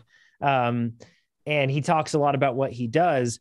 But if you look at it, the main thing is he is so consistent. And if you look at it just over time, he finds ways to make himself more consistent. Um, it's a common thing that we see across the best athletes. Same thing with Keegan. He just doesn't miss. Like he's just always out there doing things. And Amber, with your geez, the amount of consistency you had with your swimming career and every, you know, consistency works. So he says, can mm-hmm. each of you give some tips on what things you've learned over the years that have helped you maintain consistency? What have you learned that has helped you maintain consistency consistency in the face of illness, fatigue, life stress, lack of ambition, and the opposite, too much ambition? uh, thanks from David. Amber, do you want to kick us off? Sure. I think so. I, I want to start answering this question by uh, talking about the idea of discipline because I think the discipline is in, very much tied in with the idea of consistency. Like, in order to be consistent, you have to be disciplined. And discipline, I think, for most people, relates to this idea of willpower. Like you have to will yourself to be consistent all the time. And if you're really disciplined, it means you have a really strong will. And if you're not consistent, it's because you're not disciplined and you don't have a strong will. And I want to challenge that because I think instead of feeling like you have to will yourself to be consistent and disciplined, it's more about removing obstacles to consistency. Um, and for me, discipline is much more about finding a reason to want to go out than finding the willpower to force yourself to go out and train. Mm. So if you can identify a way of wanting to go out and figure out, and this kind of ties back to what we were just talking about with motivation, what's getting in the way. So how many obstacles to getting out to train can you remove? Can you set up everything the night before? Can you um there, there's so many so many ways that you can remove friction to getting out and getting your workouts done. And it's so it's not just about, oh, I don't have enough willpower to do this. It's, hey, you might have a lot of things stacked against you right now, lots of life stress. Um, logistics might be really difficult or tricky. There's a lot that goes into being consistent that has nothing to do with willpower at all. So mm. I would challenge you to think about this in terms of what obstacles and friction can you remove rather than how can I be more disciplined or exert more willpower. Mm. Ivy, you, uh, I mean, you're in Sacramento right now with the Squid Bikes crew. Mm-hmm. Uh, is that kind of like what Amber's talking about? Like you, are you implementing that very thing here? Yeah, very much so. Uh, having a support circle and uh, people that want to train with me has helped me with consistency so much. And I know for me, having a routine that we all follow together, um, and sometimes I have to break away from that if I um, if training goals don't align with align with having tag-alongs. But um, having a routine when I train has helped me a lot um, because when I used to um, kind of like watch the weather and uh, see how the day went. And um, I, I, would struggle with consistency all the time. Like I'd push it back and like find some project and uh, never start at the same time. And then my nutrition is weird and messed up. The timing is weird. Um, and I didn't get as much out of the workouts and it was hard to stay consistent. So um, now when I start my workouts, in the late afternoon, it's not ideal. And I do a lot of my training with lights in the dark sometimes, but I've spent all day uh, structuring my nutrition in a way that really helps me do those workouts in the afternoon better. Um, I feel like I accomplish a lot during the day. So when I'm training, I don't stress out about having to rush back or mm. being late for a meeting or thinking about all the things that I like need to do that day or wish I would have done, it having that routine sets me up to uh, be consistent and not even have to think about it. The structure is there. Keegan, mm-hmm. when I was uh, so it was a camp for me, but it was just a normal, probably a light week for you. Uh, but earlier in December, I came out and I just tried to ride behind you for a week. And it's always impresses me to see how top athletes like the three of you have everything designed around removing friction for training. Like, like you, as soon as you got done, you like did all the maintenance that you needed to do. If it was a little bit of maintenance or more maintenance, whatever it was, like you did that right when you finished your training. So then your bike was just done. You like had kit figured out. You had food figured out. You eat so much. It's ridiculous. um, and like you do all these things just to make training easier. And the like your lifestyle is 100% built around it. Now for yeah the and is that something are you constantly searching for ways to improve that or is that just simply like it's been habit for so long now that that just is what it is i think most of it is just kind of evolved to find the most efficient um, most efficient way to do it maybe not the most efficient but the way i like to do it the way i think it works the best for me because um, really like my job is to go train so sure there's maybe some days where i don't want to go train if the weather's bad or whatever, but like you just you go you just go do it because that's what you have to do. and in general, I try and have like the same kind of schedule, like wake up around like seven or eight, have breakfast, try and ride before 11 normally. Um, I just have like try and get back, have my recovery shake, have lunch, dinner, stretch, sleep. Like kind of like during base season this time of year, I guess all year round, I just do enough volume, but like it's kind of the same. I just kind of get in this groove and I just like having consistency. Like when there's something that like makes me ride in the afternoon, I really, I don't like it. like I, I try to avoid that at all costs, unless it's a recovery spin. Sometimes I'll like I'll wait till the evening and do my ride in the afternoon. and just like do emails, whatever I have to do in the morning, I'll do that. But for proper training rides, everything else gets like set aside. Like that is my job, so I I make sure that's the priority, and I find like the nicest part of the day to to do that into. Um, you know, if it's going to rain in the morning, I'll maybe I'll push my training off till noon and be like, okay, I have noon from noon till five or whatever it's going to be. I think like you gotta be somewhat flexible, right? And adjust it as needed. Um, yeah, in general, I think it's just kind of this like system I've evolved and like it's not super rigid as you saw, like, you know, Russell and we were talking, talking trash on me being like 15 minutes late. Like you get just, roasted constantly for that. I, you know, that's just my plan. Like I get ready and I go when, when I go and he's like that. He's like that uh, meme Pablo Escobar standing out there and like checking, like, like looking yeah. ponderously out at the, out at the weather. That's Keegan. He just, steps outside on his porch to see if the weather is ideal and that's what defines it yeah.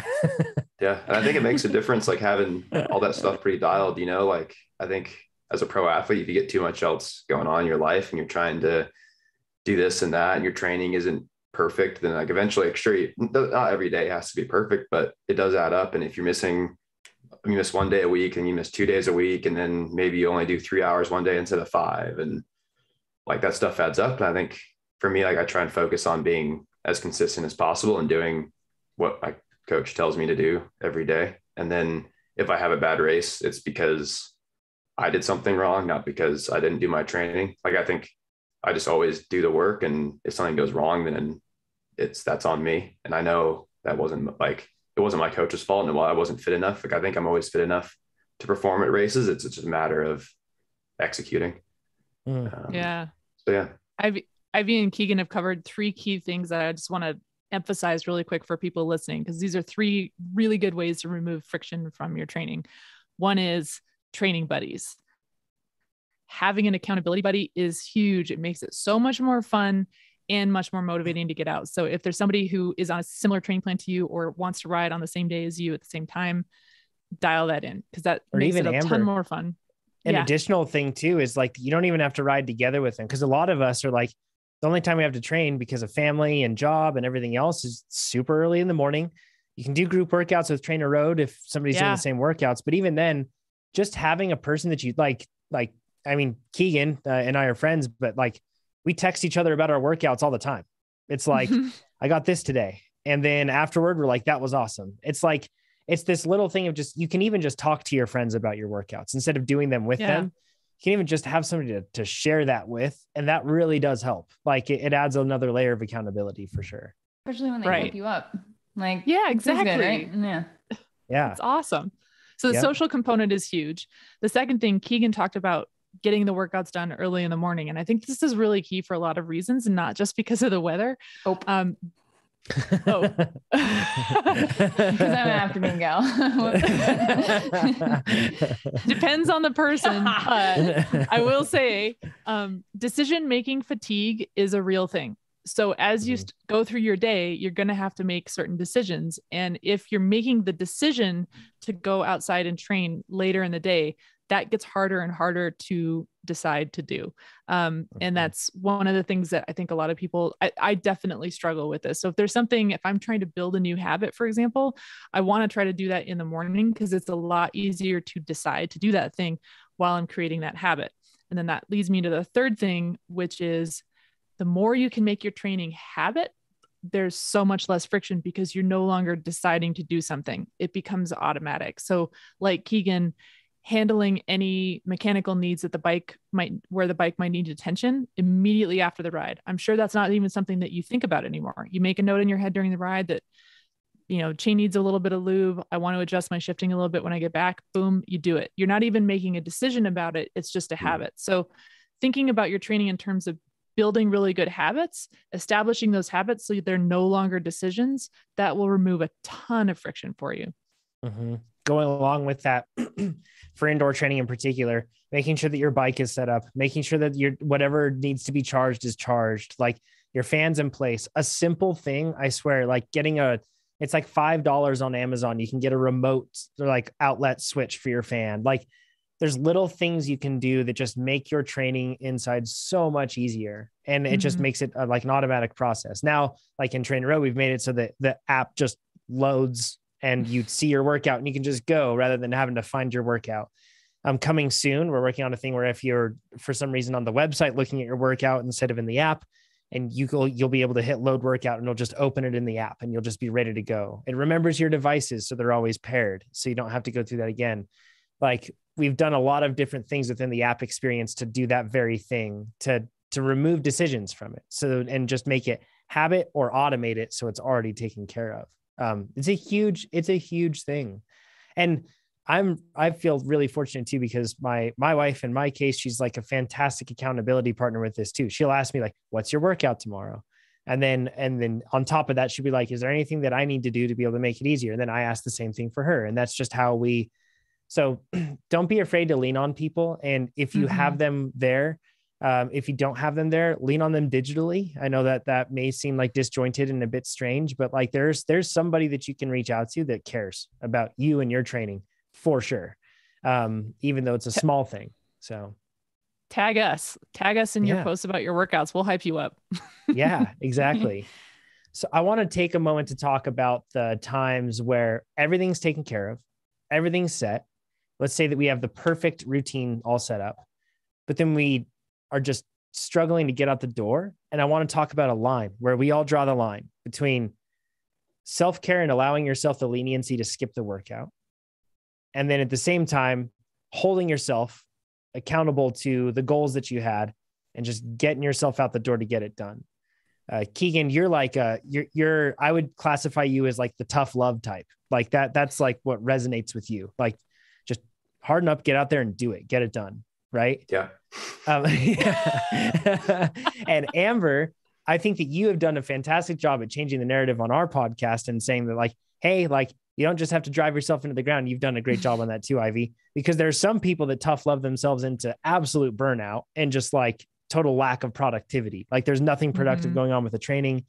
They're out there, they're struggling through, they're failing workouts constantly, yet they're continually doing it. So, I first want to ask Keegan, where do you draw your line at saying like no i do need to skip today like and how do you wrestle with the emotional side of that of feeling like you failed because you didn't go out and get that scheduled workout done Um, well, honestly, it doesn't like I just I guess that doesn't really happen to be honest. Like I, like, Typical, I just- unbelievable. Just- I just I just do it. Um, sometimes like I don't want to do it, but the fear of like doing that and the consequences that might have me like losing a race or like losing fitness or whatever. I just like I think for me like I'm a competitor and I like to win and that's like I love riding my bike. I enjoy just going having fun, but I think for me like winning is like the biggest thing. Like that is why I race bikes. So even if I don't want to do it, I'm going to do it because I know it's going to make me win down the road. Um, and maybe that's not like the healthiest thing or whatever, but it works for me. And I like, I'd be like, okay, I'm gonna do this workout. It's raining. I have like five by fives, which is my least favorite workout. I hate it. I'd rather do anything else.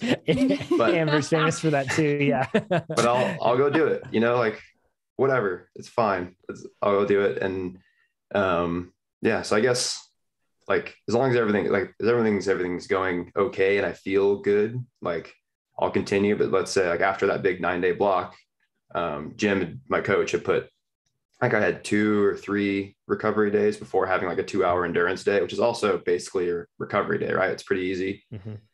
And in my mind, I was like, man, after one after one recovery day or after two days, I was like, man, I still feel like a little bit tired. Like so I texted him like, I'm just gonna push this two hour endurance day off another day, and we're gonna do one more day of recovery. I think I need it. And he's like, yeah, that's fine. Like, so I think you have to know, like, you can push yourself really hard and you can like ride yourself into the ground, which I definitely do.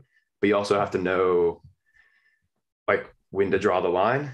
And like, a two hour endurance ride is not gonna give you any fitness. Like, it's 70 TSS for me. It's like it's not that big a deal. Recovery ride is like 20 to 30 TSS. It's like you're splitting hairs at that point, but like their extra recovery, Yeah. like the extra recovery, mental and physically from that recovery ride is actually going to make make me faster. So I'm going to push that endurance ride off one more day. Like to me, a, a two hour or three hour endurance ride is just like it's a filler workout, right? It's like it's mm. just something to keep the TSS up a little while like kind of recovering, but not really training. So I think, and I kind of know that, like I know like Jim put that in there as like, ah, maybe if he's not feeling good, he'll just swap it or he'll just text me or whatever. So I think you have, if you're going to be like tough on yourself, you also have to be smart and know like where to draw the line and not like pound yourself into the ground, you know? Um, yeah, it's definitely hard, but I think you get, you get better at it, but it's definitely like rare for me to swap workouts or just not do one. Like if I have like those five by fives I was just talking about, if I see those on the calendar, I dread them all week. And I'm like, I don't, don't want to do this. I don't want to do this, but I'll go do it. And maybe, maybe I blow up after three and then I'll try and do another two. And, you know, sometimes you gotta know too, like you get, sometimes, you know, you have to push through a workout and sometimes you have to know when to pull the pin and go home. Um, which is always, it's always hard, right? Like I always text, text Jim like, Hey, like I blew up after one, one, one rep today. I think I'm just going to call it. And some like, but if you, so if you can't make it through one, then obviously you're still fatigued and you're tired. So you shouldn't do it. But if you can make it through three, then you can probably make it through two more. So you, you just keep going. So I think, science. so I think there's a balance, you know? I can't imagine what would have to happen to you to be like, all right, I'm gonna pull a plug today. Like, it must be really Yeah. bad. Yeah. As Ivy said, built different. yeah. Yeah, exactly. How- I have how do you- process for this. Oh, Yeah. Yeah. Go ahead, Ivy. uh, if I if everything's set up right for consistency and everything's ready to go and I have trouble getting out the door, I try to look at why. And if it's if it's just that um, I'm a little tired, we're a little fatigued, I have a rule, which is that I give myself 25 minutes of writing to see what's going on. And that doesn't mean that I have to start my intervals or anything. I just have to, especially if I'm kitted up and just can't get out the door. Um, I try to just do the first 25 minutes, get my legs moving, and like see if being outside and or or being on the trainer and starting makes me those sensations go away. But if it's something like I might be getting sick or uh, not feeling good or might be dealing with an injury, something like that, it that's different. Um, I might not start the ride, but that's generally my rule. If I'm just like, eh, I don't know, I'm kind of tired, uh, it's getting late, I'll I'll or just not feeling it, I'll start 25 minutes and see how it goes. It's amazing That's how like after that first like sometimes it takes like you know 10 to 20 minutes somewhere around there but you you feel like a different person right hmm Sometimes it even takes more than that. You know, like sometimes it takes like a solid for me. Sometimes it'll take an hour or two before like you feel good on the bike. Like I in that nine day block we did, like I felt there's a couple days I woke up and I just felt horrible. Like it hurt to walk around the house. My legs hurt. Everything just ached. then then you get, get out there and you start you start riding and once you kind of warm up and you get the blood flowing and like you're fine. Like oh, i can i can do this. We're good. And then you just keep going. And that makes times you do need to push through it for a little while then it'll get better. But like ivy said you have to know like if you're getting sick or if like you have an injury in your knees like actually hurting just pushing through is just going to make it worse. Like you're not going to do any you're not you're just going to do more damage more harm than good. So i think you have to figure out, figure out where to draw that line. Yeah. Yeah. I'm with Ivy. I have the same rule. And and I think um, an important distinction here is that when you are training at a really high level for a really long time, um, like Ivy, Keegan, me, Jonathan, you get to a point where you are really, really good at knowing when you need to back off. So there are Mm. some days where I would just know, like, nope, not training today, or today I just need to ride endurance. I'm not going to do any intervals. Um, and I would know 100% this is the right decision. But then there are those days where I'm not 100% sure. And I really, I'm, I'm genuinely not sure if I'm just kind of tired. And like Ivy said, I'll feel better after I get on the bike or if I really need to dial it back. And I had the same rule as Ivy. I gave myself 20 minutes. that was my rule. Yeah. Same thing. It was like, okay, I'm going to go through the motions, get over that initial friction of getting on the bike, see if I feel better. Cause some days, you know, you, you ride into it and you're like, oh, I'm so glad I got out today. And other days it's like, nope, this is not happening. And at least then I could take the day off and not feel guilty about it. Like I wouldn't spend the whole day racking my brain wondering, you know, should I have trained today? Am I just being lazy? Am I, you know, no, then then I I gave myself a chance to see. I know for sure rest is the right call today and I can feel really, really good about that decision.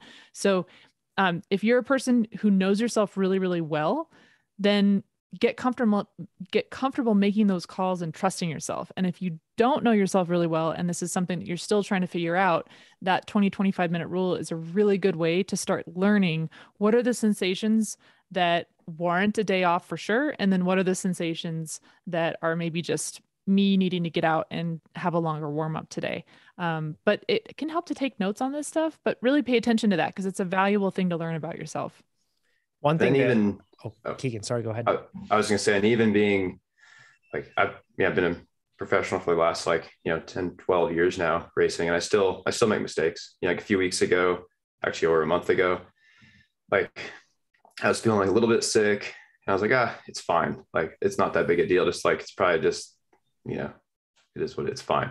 So I went out and had a hard like five hour endurance day and I started feeling a little off. I was like, man, I don't know, I feel a little off. And then like halfway through, I started to feel like this is really, really hard. Like trying to do like 250 watts felt like full gas. And I was like, man, this probably I probably shouldn't have even came out today. And afterward, I was like, man, I just and then I got really sick afterward. And I just like, oh, I shouldn't have. If I had oh. not trained that ride, then maybe everything would have been better.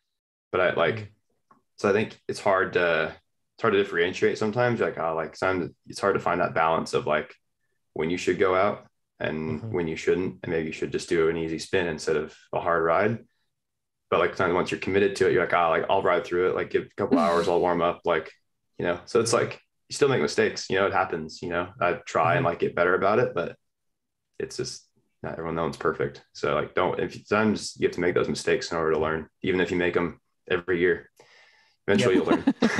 and because of lifestyle changes and because of training changes and everything else, you'll also have new baselines that you'll have to calibrate to. Like right now, Right. doing uh, triathlon training, uh, I've been complaining about this to Keegan. We're like, turns out triathlon training is really hard. Uh, like when you swim and you run, it makes bike hard. So uh, that's been like, so that's been something that's new to adj- like adjust to. It's like, oh, okay, so like I should just feel like right now, like I'm getting used to this different level of fatigue. It's not necessarily more, not necessarily less. It's just different, and I feel Mhm. different coming into workouts, right? So, and if you tra- change your training volume or change the focus of your training, or you're doing a different type of work, or get a new job, or you have something else change outside of just the cycling training portion of your life, you have to kind of like normalize to that. So you have to kind of like feel things out for a while and then regain your confidence in your ability to be able to assess those situations. So um, it's all it's all part of it.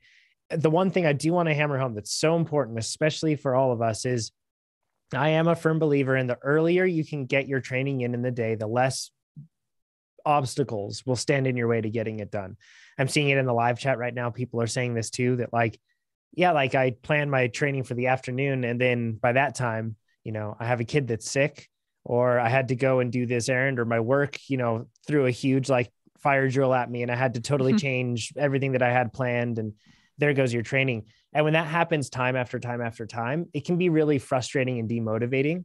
And you can't like will your way through that because it's like, well, no, I like I literally have to work for six more hours right now and I can't do it. Or I have to take care of a sick child, whatever the situation might be. All of us probably face those where we simply can't overcome them. So it's one of those times where you have to stop and think like, okay, so is the problem everything else, or is the problem that I'm trying to pose an unrealistic expectation of being able to have a very consistent life to work around my training?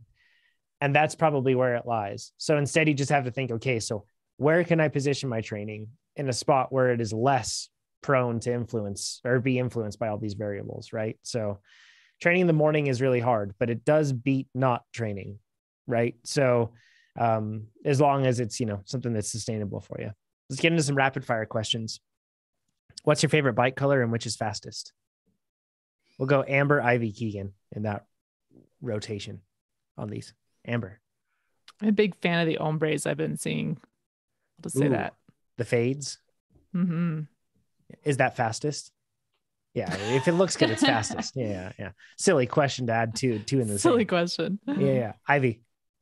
I don't know what's fastest, but the cool thing about squid bikes is that you can paint them. I'm currently in the process of sandblasting and stripping uh, my two race bikes, and I get to repaint them. Um, so one of them is going to be very uh 2008 pop punk splattered vibes. I'm pretty excited. Nice. yeah. I, I dig it. Keegan. Uh, black. Yeah. uh, what I would expect. Yeah. Wait, wait, wait, wait. Matte or gloss? Matte because it's lighter.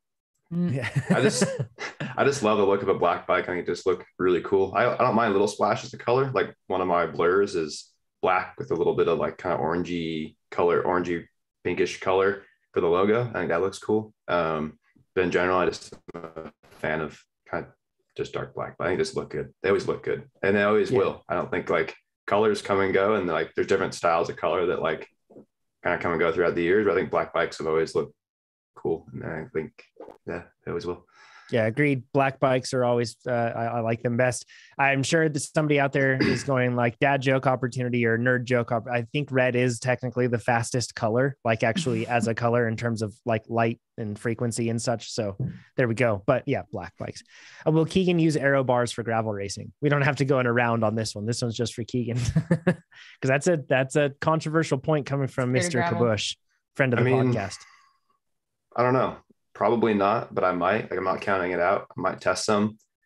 I like I'm not here to like enjoy and have a good like I'm not here to have a good time racing gravel, but I'm also here to win. And if I if it rail bars mean I'm gonna win, then I'm gonna use them. So I'm not gonna say no, but as much as like I would like I don't I don't think they're cool or anything. And I think they should just say I think like the whole gravel, like all the series should just be like you can't use aero bars, and that would solve so many problems because then no one can use them and it's fine, and then no one looks bad. It doesn't look it's like safer. Like so, I hmm. don't I do agree. I don't think aero bars have a place in like groups. I think like they're sketchy and they can cause crashes. And I think like if you're going to use them, you have to really know when it's safe to use them, when when it's not safe to use them, and I think a lot of people have a hard time with that. So I think they should just say you can't use them. But since it's allowed, maybe I will, maybe I won't. I don't know. Whatever's faster. Whatever's faster. how do you deal with riding? Oh wait, one one quick thing. I forgot to do this at the beginning, but uh, congrats to friend of the podcast, Matteo Jorgensen, um, Movistar rider. He got third, I believe, at Tour de la Provence. I believe I could be mixing it up with a different race, but third on a mountaintop stage. And it's cool because Matteo is not like a short, tiny, little stereotypical like world tour climber. Yeah, he was smashing. He he blew past blew past Julian Alaphilippe, which is pretty darn cool. So uh, it's always uh, and yes we're from the united states of america of course. So it's really uh, we like to be able to cheer for our riders in the pro tour. It uh, we don't get as many chances to cheer as you know the french or italians or anybody else. So good job Matteo. way to go. Uh, keegan how do you deal with riding with having fresh tattoos? And when do you start riding again you don't get tattoos though if sophia is listening to this you don't get tattoos Mm. so No, never. yeah yeah, yeah. how do you Uh, deal with them I mean, I guess, um, I mean, I wouldn't get a tattoo and go out and train right away, but I'll get one the day before. And then, I mean, it's as long as you keep it clean. And I like to use Tegaderm or Saniderm, keep it covered. the bubble. And then, yeah, then put like, I like to use like the, like the arm warmers that aren't like the sun sleeve things, if they're on your Mhm. arms. Um, kind of, it's good to keep them out of the sun. I mean, it's basically like a really gnarly sunburn. So if you're getting sun on it, then it really hurts and it can just mess it up and that. Um, but also, I'm not a doctor. I'm not your tattoo artist, so don't ask me. I'm, this one comes from somebody who says their name is I'm self-conscious about asking too many questions. That's actually what they said. Their name is. So uh, they say, we do I need to take? Yeah, that's really. It's called Ask a Cycling Coach podcast. so, uh, do I need to take recovery weeks if I'm only doing one to two training rides a week? Probably three to four hours training time. I will check. I will chestnut checkers on this one with you. Uh, I'm self-conscious about asking too many questions uh, since that's your name. It's not about whether you should take one or not just based on frequency. It's about dose. So, is this sufficient dose, the three to four hours training time, so that you feel like you're getting fatigued after three to four weeks? Then you need a recovery week. So Mhm. people that train less days don't necessarily not need recovery weeks. It's just the point of a recovery week is to give your body a chance to deload, basically. So Mhm. the stress decreases a bit and you can catch up to the adaptations that you should be making along the way. And then you, you know, restart. So you know one to two days doesn't mean that you might not. It also might mean yes, it's not enough stress for you, and as a result, you don't need a recovery week. But that's the whole point of it. Uh, this one I think is from Key or for Keegan too. Is soul crushing an innate skill or one that can be developed? I think you can develop it. You just need to learn, like, learn people's weaknesses and learn how to like, you know, rub some salt in their wounds. And I think you can figure it out racing. You know, like sometimes it I mean, I like to think it helps you win mental games. Like you can like learn how to just make people hurt and make you think, make them think that you aren't hurting. Um, Mhm. I don't know. There's a lot that goes into it, but I think there's a lot more to bike racing than just fitness. I think like mental is half the battle. So if you can make someone think that you aren't hurting and they are, then you've already beat them. So That's the fun learn. part.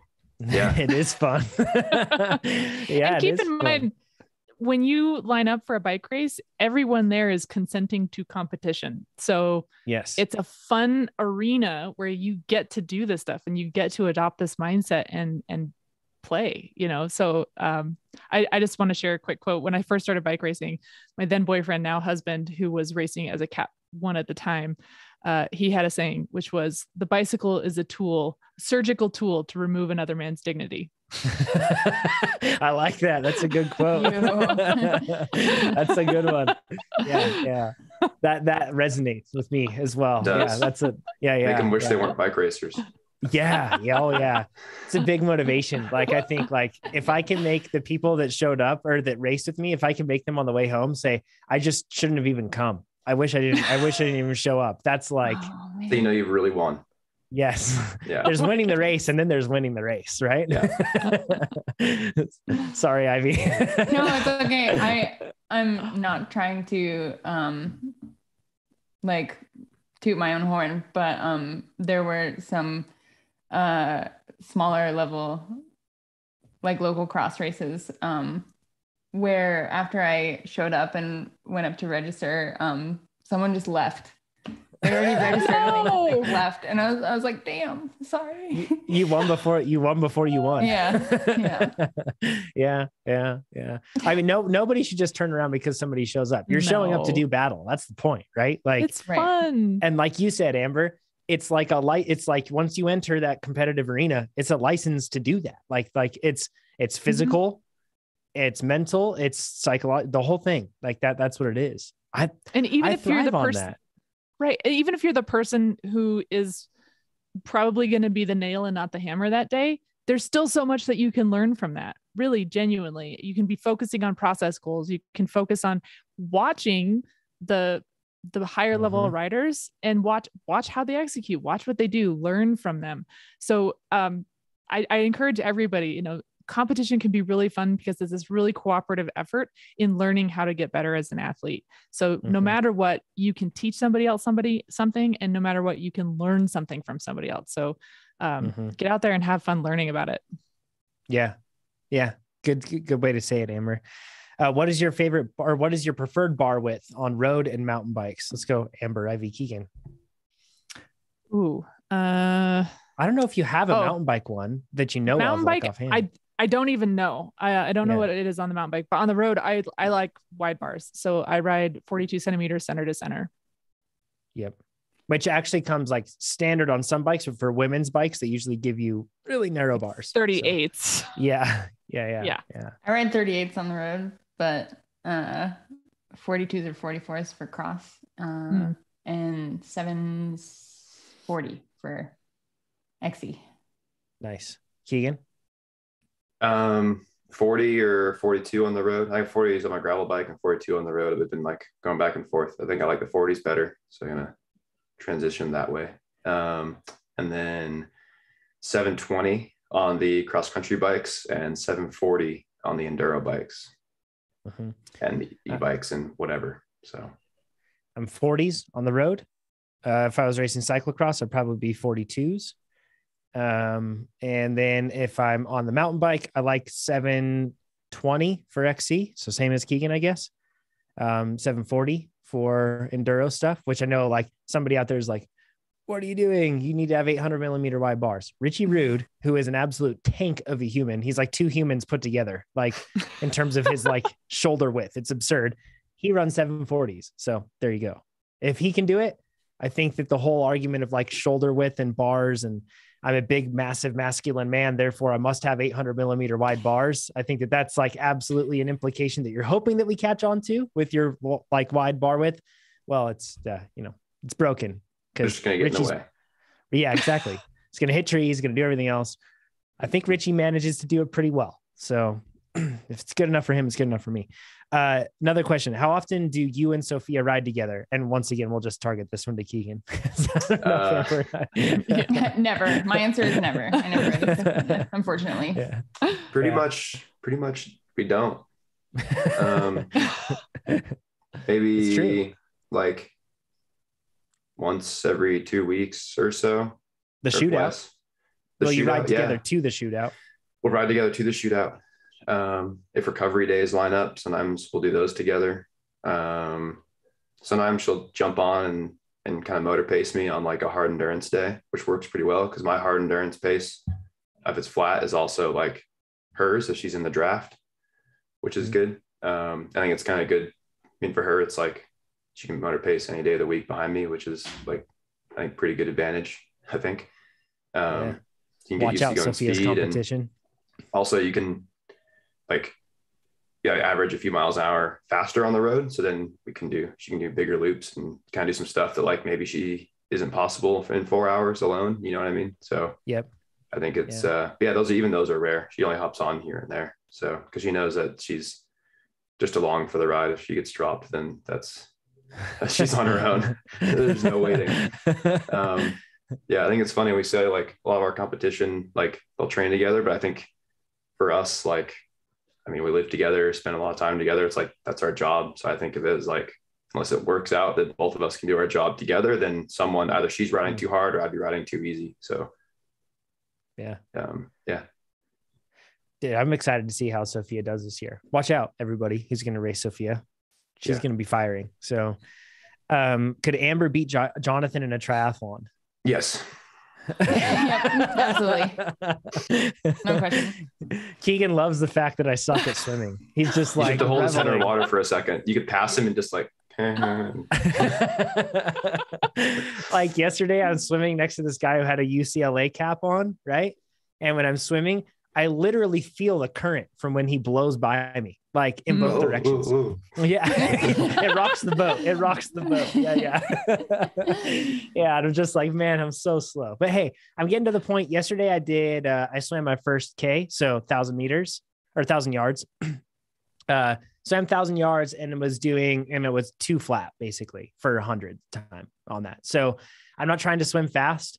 In fact, I'm like consciously trying to swim slow, if that makes sense, because I'm just trying to be comfortable, build awareness, and build that proprioception to be able to be like, because before when you're drowning, it's actually really hard to tell what your lat is doing, for example. so you don't really care about what your lats are doing and how they're engaging uh, when you're drowning. So uh, now I'm getting to the point where I can actually start to feel things better, where I'm like, okay, I actually do feel that like I could be straighter here, or I am twisting and bending at my hips, and instead I need to do this. So I'm actually trying to swim slow, but hey, I'm already I, pretty rapid improvement. So you aren't right drowning, on. so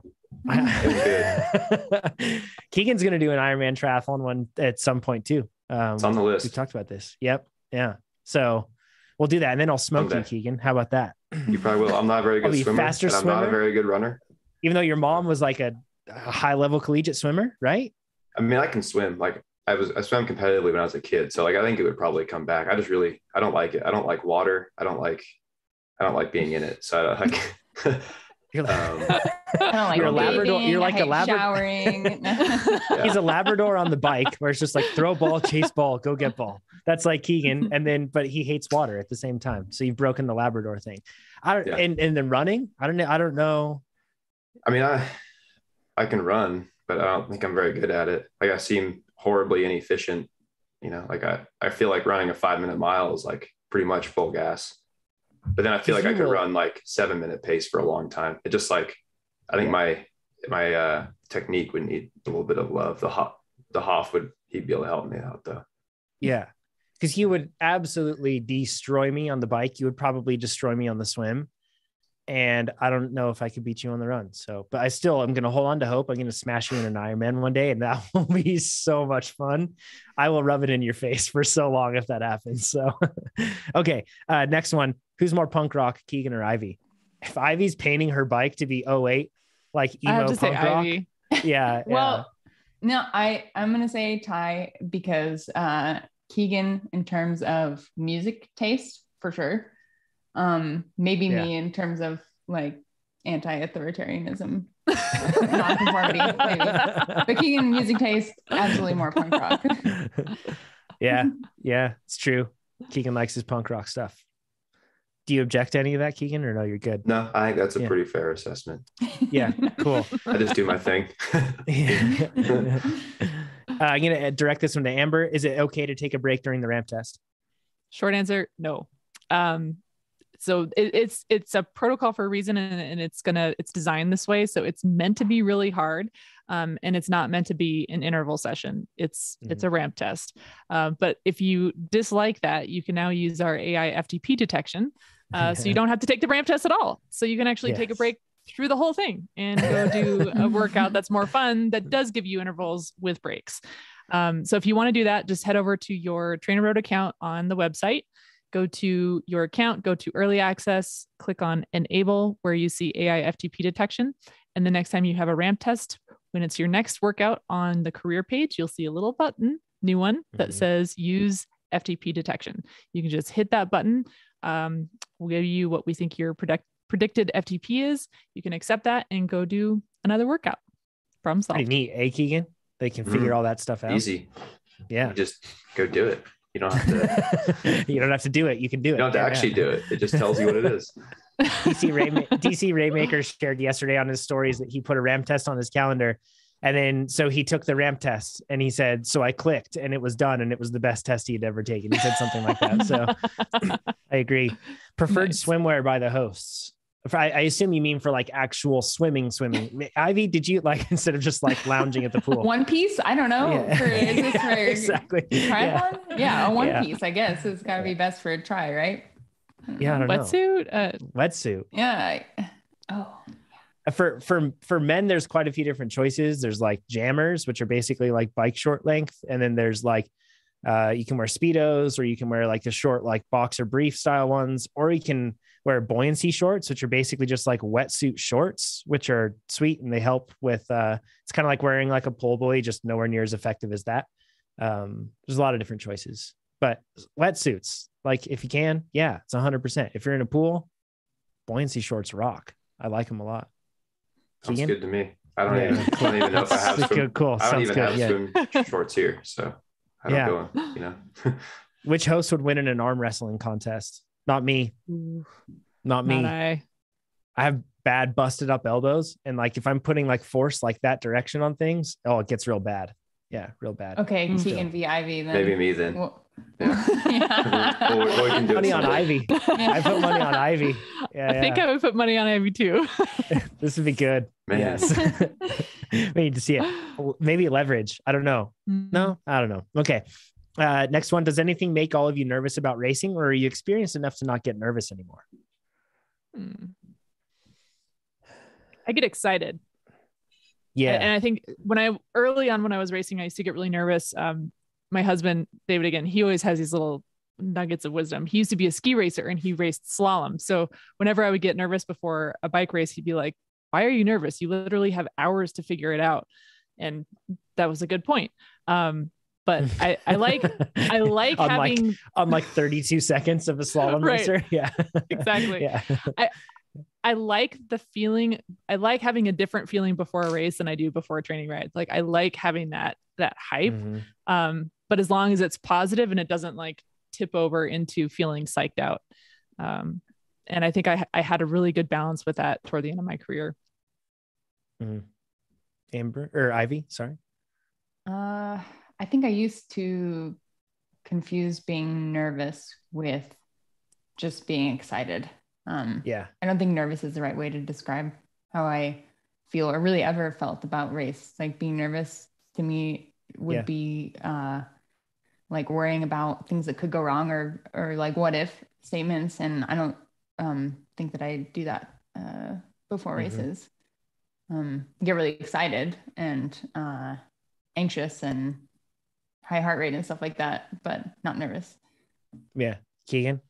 Um, I'd say mostly, mostly excited. I'd say there's a rare occasions where I'm a little bit nervous. If it's something that, 24 hours in the old Pueblo solo. yeah, Yeah. even then, like I'd say it's 90% excited, 10% nervous, just because I know there's like a small part of me that like I just don't know what I'm doing. So, which is cool. Like I'm excited for that unknown, you know, or like when I'm Tobin done. in the background. Is it Tobin? Tobin, actually, it's probably Griffin. Griffin gets excited sometimes. He's- Okay. Griffin Easter, who I'm super excited to see how he does uh, this year in the Life Time Grand Prix races that he does. It's gonna be awesome.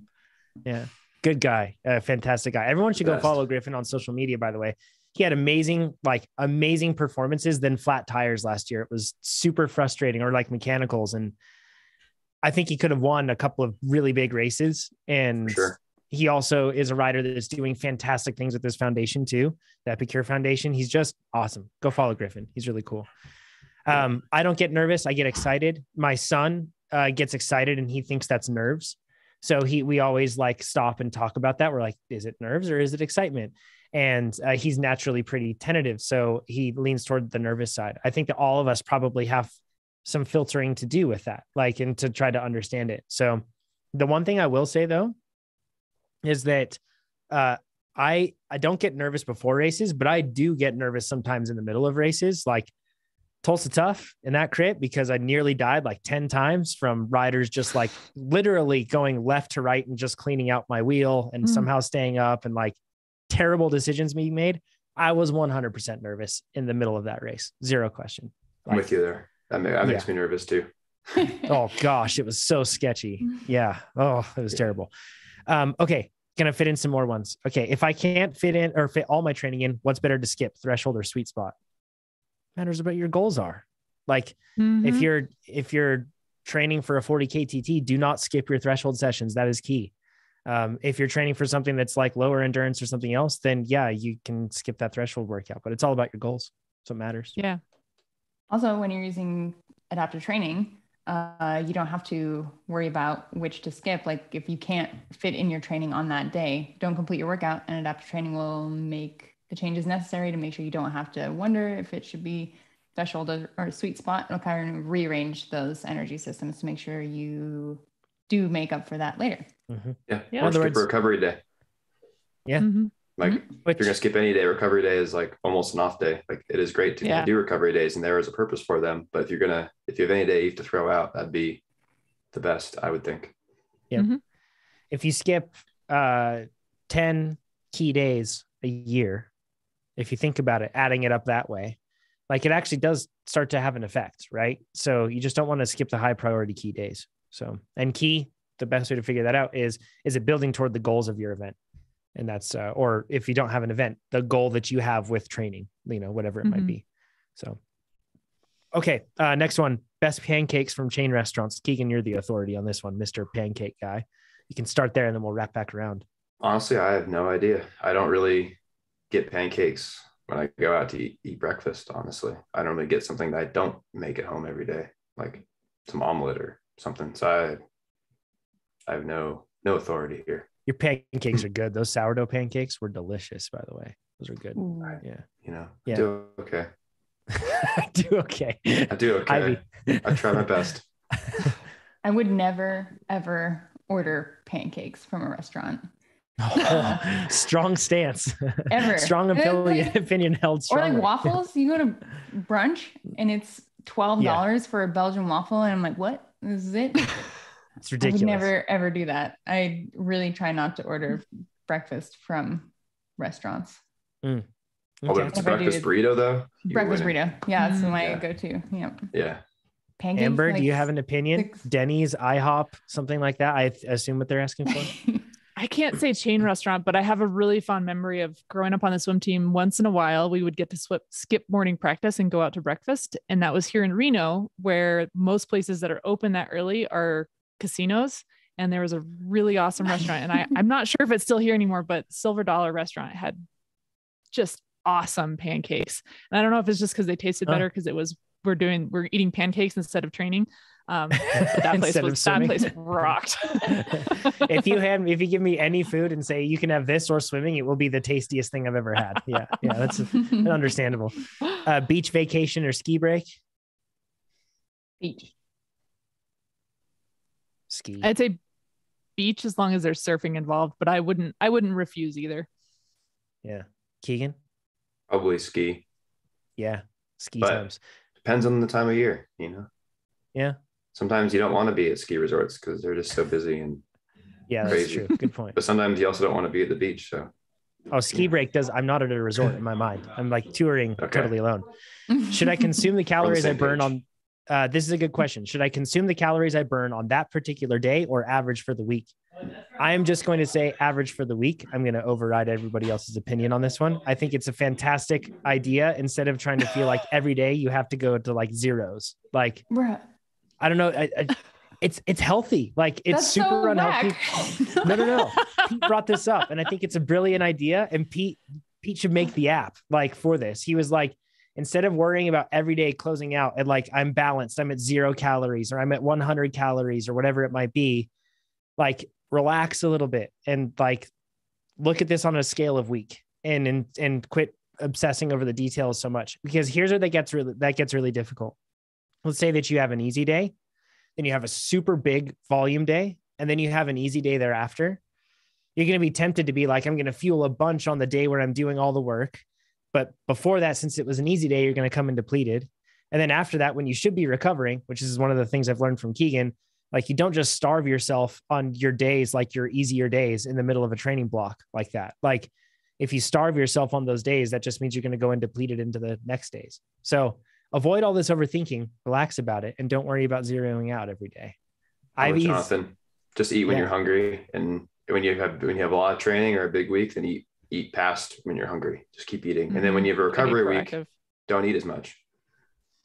thank you. I you. think people overthink this way too much. It's pretty simple. Yes. yes. I'm just thinking about uh, someone averaging out for a week, waiting until Sunday and being like, oh no, and just eating, like, Well, it's not. trying to average it out and just eating so much food. I'm 1800 behind. Here we go. Totally Yeah. bogus. Yeah. that's why I'm like, no, don't do that. Cause I can imagine our athletes taking that and running with it and being like, I ate 6,000 calories today because I had to fix my week average. Super Bowl Sunday. That's it. Yeah. Cheese dip. Yeah, queso. Um, okay, next one. Are you doing any World Cups this year, Keegan? Mm, no.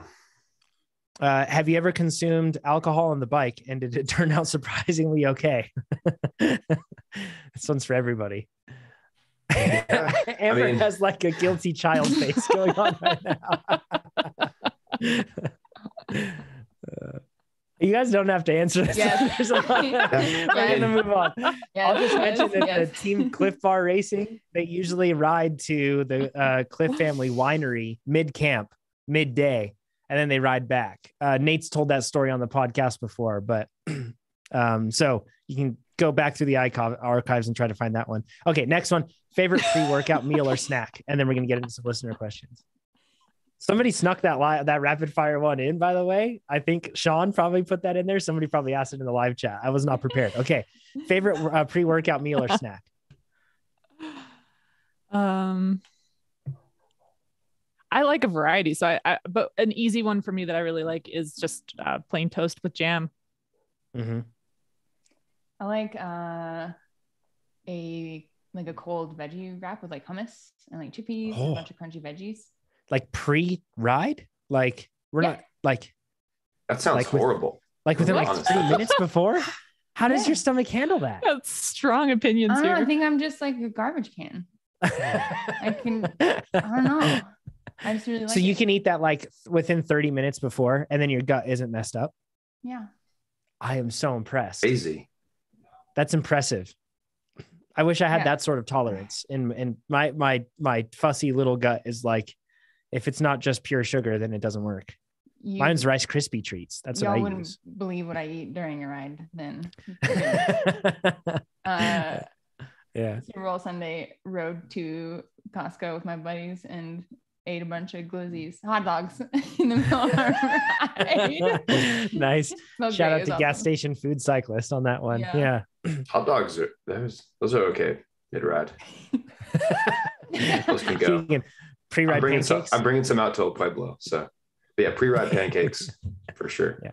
Yeah. Or like rice, pasta, something easy. As, as- Yeah. as long as I mean, assuming it's like a reasonable training ride, if it's just recovery, then I'll eat whatever, pretty much. Yeah. Rice Krispie treat for me. It's easy. Yeah, Nice. they're It's good. done. Yeah. Tasty. Is something wrong Al- with me? Am I making wrong choices? No, I'm impressed, Ivy. I just most people, if they were to eat something that's fibrous like that, and that has because vegetables tend to have a lot of fiber Mhm. and like hummus too, and everything else like that. If they end up doing that, then it slows digestion and it can cause like gut distress and cramps and all that stuff. So you're just Okay. basically you have superpowers, is what we're getting at. You have Garbage like powers. hummus, ve- veggie wrap superpowers. So um alex says maybe actually ivy because you've raced short races these days and that's like what you do maybe you're actually like an that skill alone could make you like the 24 hour world champion being able to eat like Mm. anything that you want and just keep on going maybe you're actually like the 24 hour time trial world champion ivy oh my gosh. Next year. You just haven't fulfilled it yet. Pueblo. Here we go. It's your destiny. You just gotta manifest it. okay. Alex says these we're out of rapid fire. He says, any tips on gaining confidence while riding in the middle of the field? I tend to gradually lose position if I'm in the fat portion of the peloton. So he's talking about the, the larger blob. if I'm towards the front somewhere in the single file section, I'm fine until the pace slows anyhow and the field gets fat again. The slower the field is going, the more exaggerated this effect seems to be. I'm an okay bike handler. I've been doing all my indoor training on rollers since 2015. And when sketchy stuff happens, i.e., contact, avoiding crashes, managing the guy on my right side that forgot about a right hand turn, sounds like a very specific uh, scenario that he's dealt with, etc. he says, in the field, I've been fine.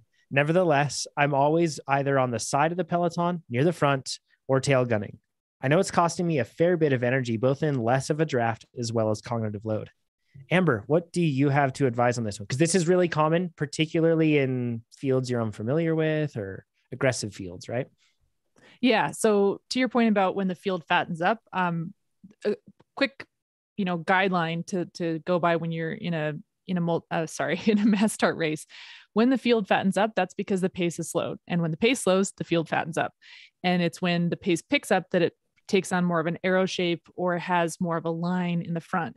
When it gets lined out and the pace is picked up, that's a really bad time to try to move up and gain position. So when the field fattens up, that's when you do want to gain position.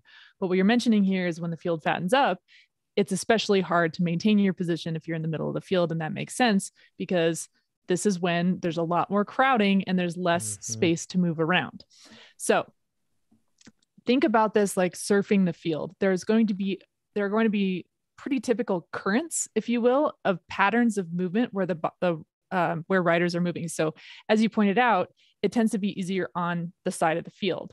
Well, if that works well in terms of drafting, if you're on the lee side of the field, in and by that I mean on the side of the field that's protected from the wind, but everyone wants to be there. And so what ends up happening is you have people moving up the sides of the field because that's an easier place to move up. And then they don't want to be on the front. So then they kind of move in toward the middle as they get Mhm. closer to the front of the field.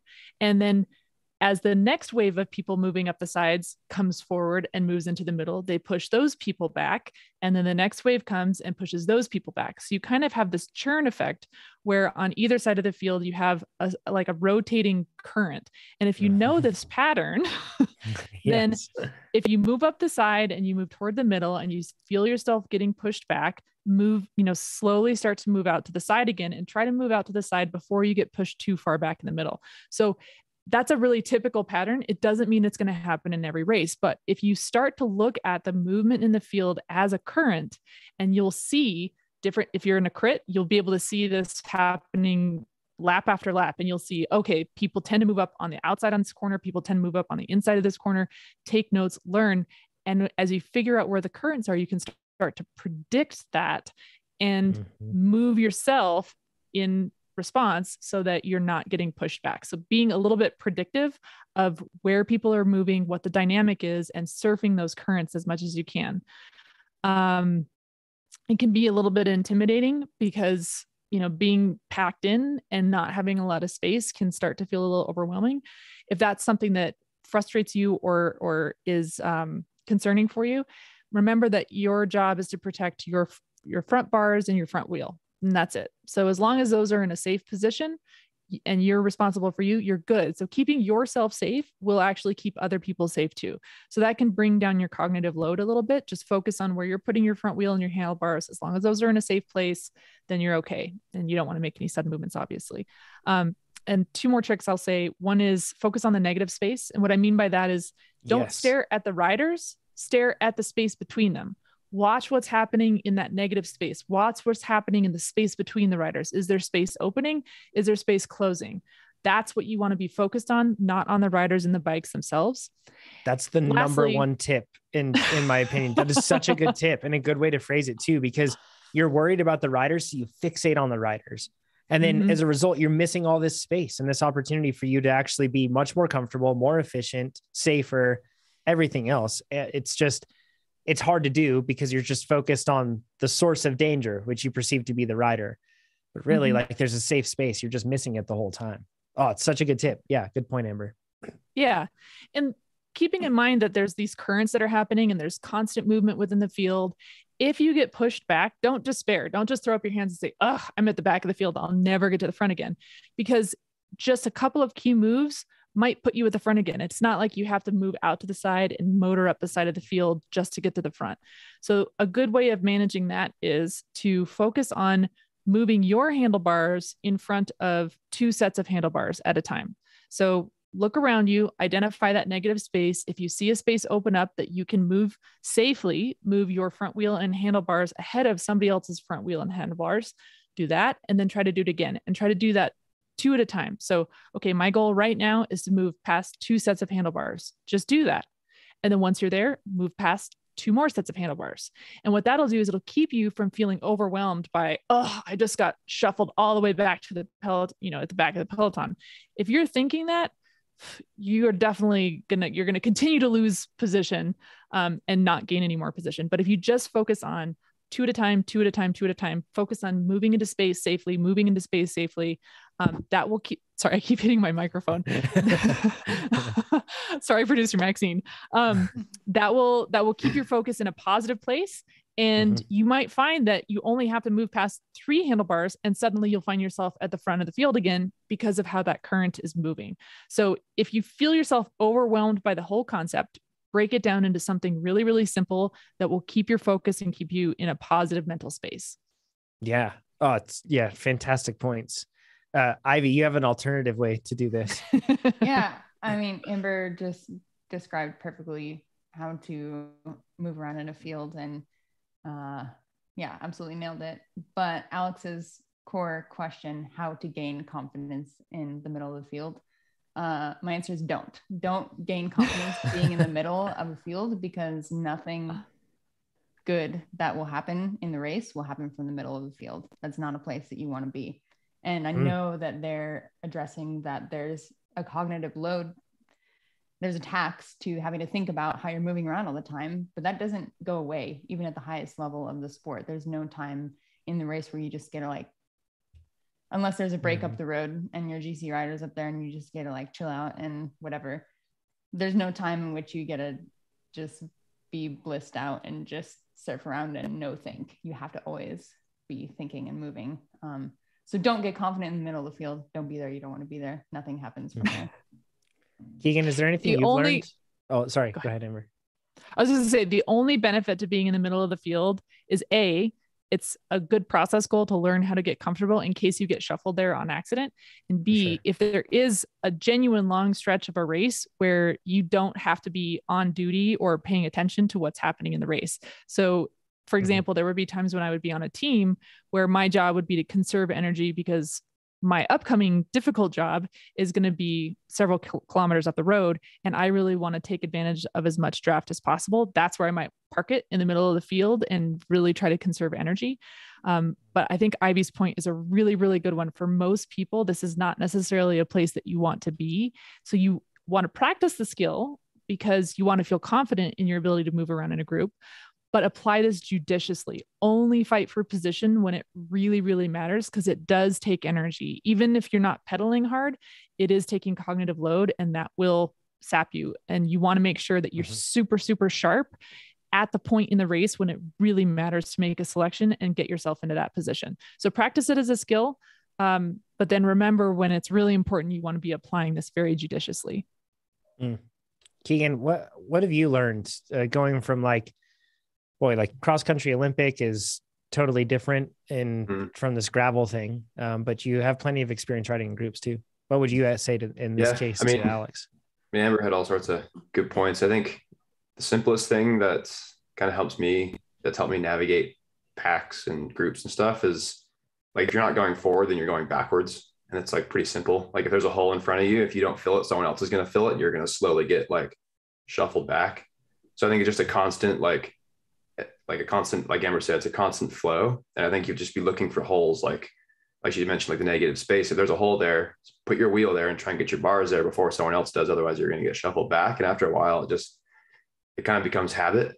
Um, and then I was also fine. Like you don't have to always be in the middle. You can just chill at the back. And then if you want to get to the front, wait for like a nice big turn and you can just swing outside and carry speed and then float like, like kind of like filter your way back in. So I think you don't have to always be fighting for the front. Sometimes it's fine to be in the back. And sometimes if you want to fight for the front, it's easier. Once you get up there, it's easier to hold position. You can just like, you know, bump people off or like keep filling holes and like eventually you'll kind of learn. Just like a learning experience, really. I think group rides are a good place to practice that too. I would um, love to. I would love to talk about this for like three hours because we totally could. Um, there's so many theoretical scenarios. Yeah, yeah, there is. Um, we're already over the two hour mark, but according to the survey, people uh, don't complain about it being long. Um, they they like it being long because you can just digest it in chunks. So, um, but the one thing where this gets really tricky is when you have a course that is bending left or right, left, right, left, right, and going back and forth like a crit course, where there is a favorable line and people are fighting for that line. And when I say a favorable line, I mean like there's manhole covers, there's something else, and you can watch that race from Tulsa Tough for a great example of this. We have it on our YouTube channel. You can go and see. I crash at the end of the race, um, but you'll get to see a lot of chaos, and you can even see the full race to see that. I was absolutely like f- just going around the rim because the center was just so chaotic. Um, it wasn't people like finding holes as much as it was problems happening and then like crazy ripple effect. So if you were in the middle, you just constantly didn't float to the back, you got thrown to the back or you crashed. That was like your choice. And then you'd have to like work your way back up. So, you know, you can try to find space, like Keegan said, to try to like get yourself to move around. But honestly, the best thing for you, Alex, in this case is quit quit focusing so much on being in the group and instead focus on what you want to accomplish in the race. And if you do that, you'll find yourself in the right spot. Like if if your goal with that race is to upset the race and to make it surgy and attack and try to draw people out and make them make bad decisions and attack when they shouldn't, then this is a situation where your position will be totally just a, a, an afterthought or a result of how you are fulfilling your goals in the race. If your goal with the race is to sit in and sprint, then your position is going to be a result of that. Like um, a lot of the time, we get so focused on the basics that we forget about what we're actually accomplishing in the race. And you're a good bike rider, Alex. You said that you've got good bike handling skills, you've got everything else. I'd say focusing on the negative space is one thing, actionable thing that can really help. And like Keegan and Amber both said, you know, find those spots and move forward two at a time, something like that. But really, if you just stay focused on your goal, your position's going to work out. And if you have the fitness to back up such a goal. So I know that sounds kind of weird, but I think that if we do shift our perspective, then it ends up being better. As soon as we start focusing too much on fighting for one position and staying static in a spot in the field, mm-hmm. that's when we make bad decisions. People will not want to ride behind you and they'll fill in right in front of you and make it even tougher. You won't be riding fluidly. You won't be making good decisions. So it's dynamic. It's got to be.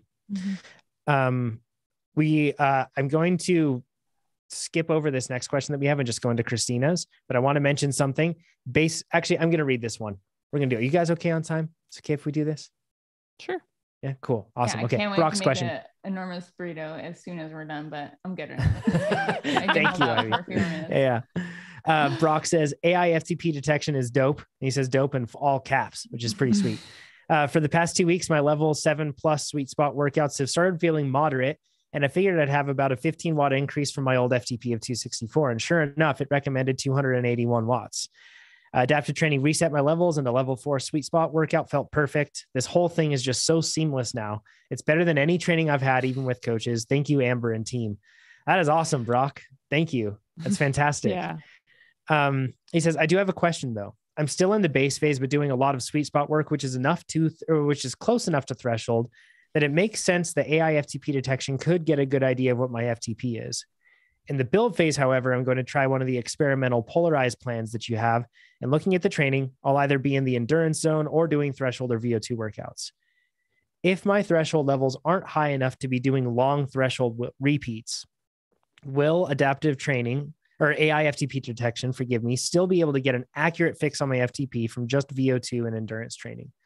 Uh, this one's for Amber. Amber, take it away. Yes. Yes. Period. you don't need max efforts Um, and they no. don't have to be threshold efforts, right?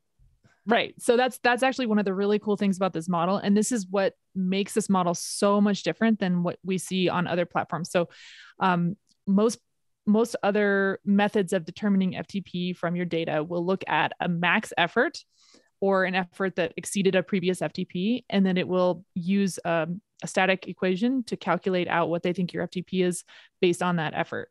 Our model is very different. It doesn't require capacitive efforts or max efforts. What we do is we actually look at your training holistically in order to determine what your FTP is. So because we're using a lot more data, um, we can actually hone in on what your FTP is, even if you're not doing threshold efforts, even if you're not doing max or capacitive efforts. So that is one of the really cool differentiators about this model. And so far, it's working really well. We've had a couple of edge cases, um, but you know, the more people that can sign up for this and start using it, the the better it's going to become. Yep. And you can even do this without even riding inside or doing TrainerRoad workouts at all, really. Like uh, Yep. if you just do your outside riding, it's still going to be analyzing that outside riding as well, which is super cool. Exactly. So not just outside workouts, it actually will look at all of your unstructured riding as well. So you get credit for everything.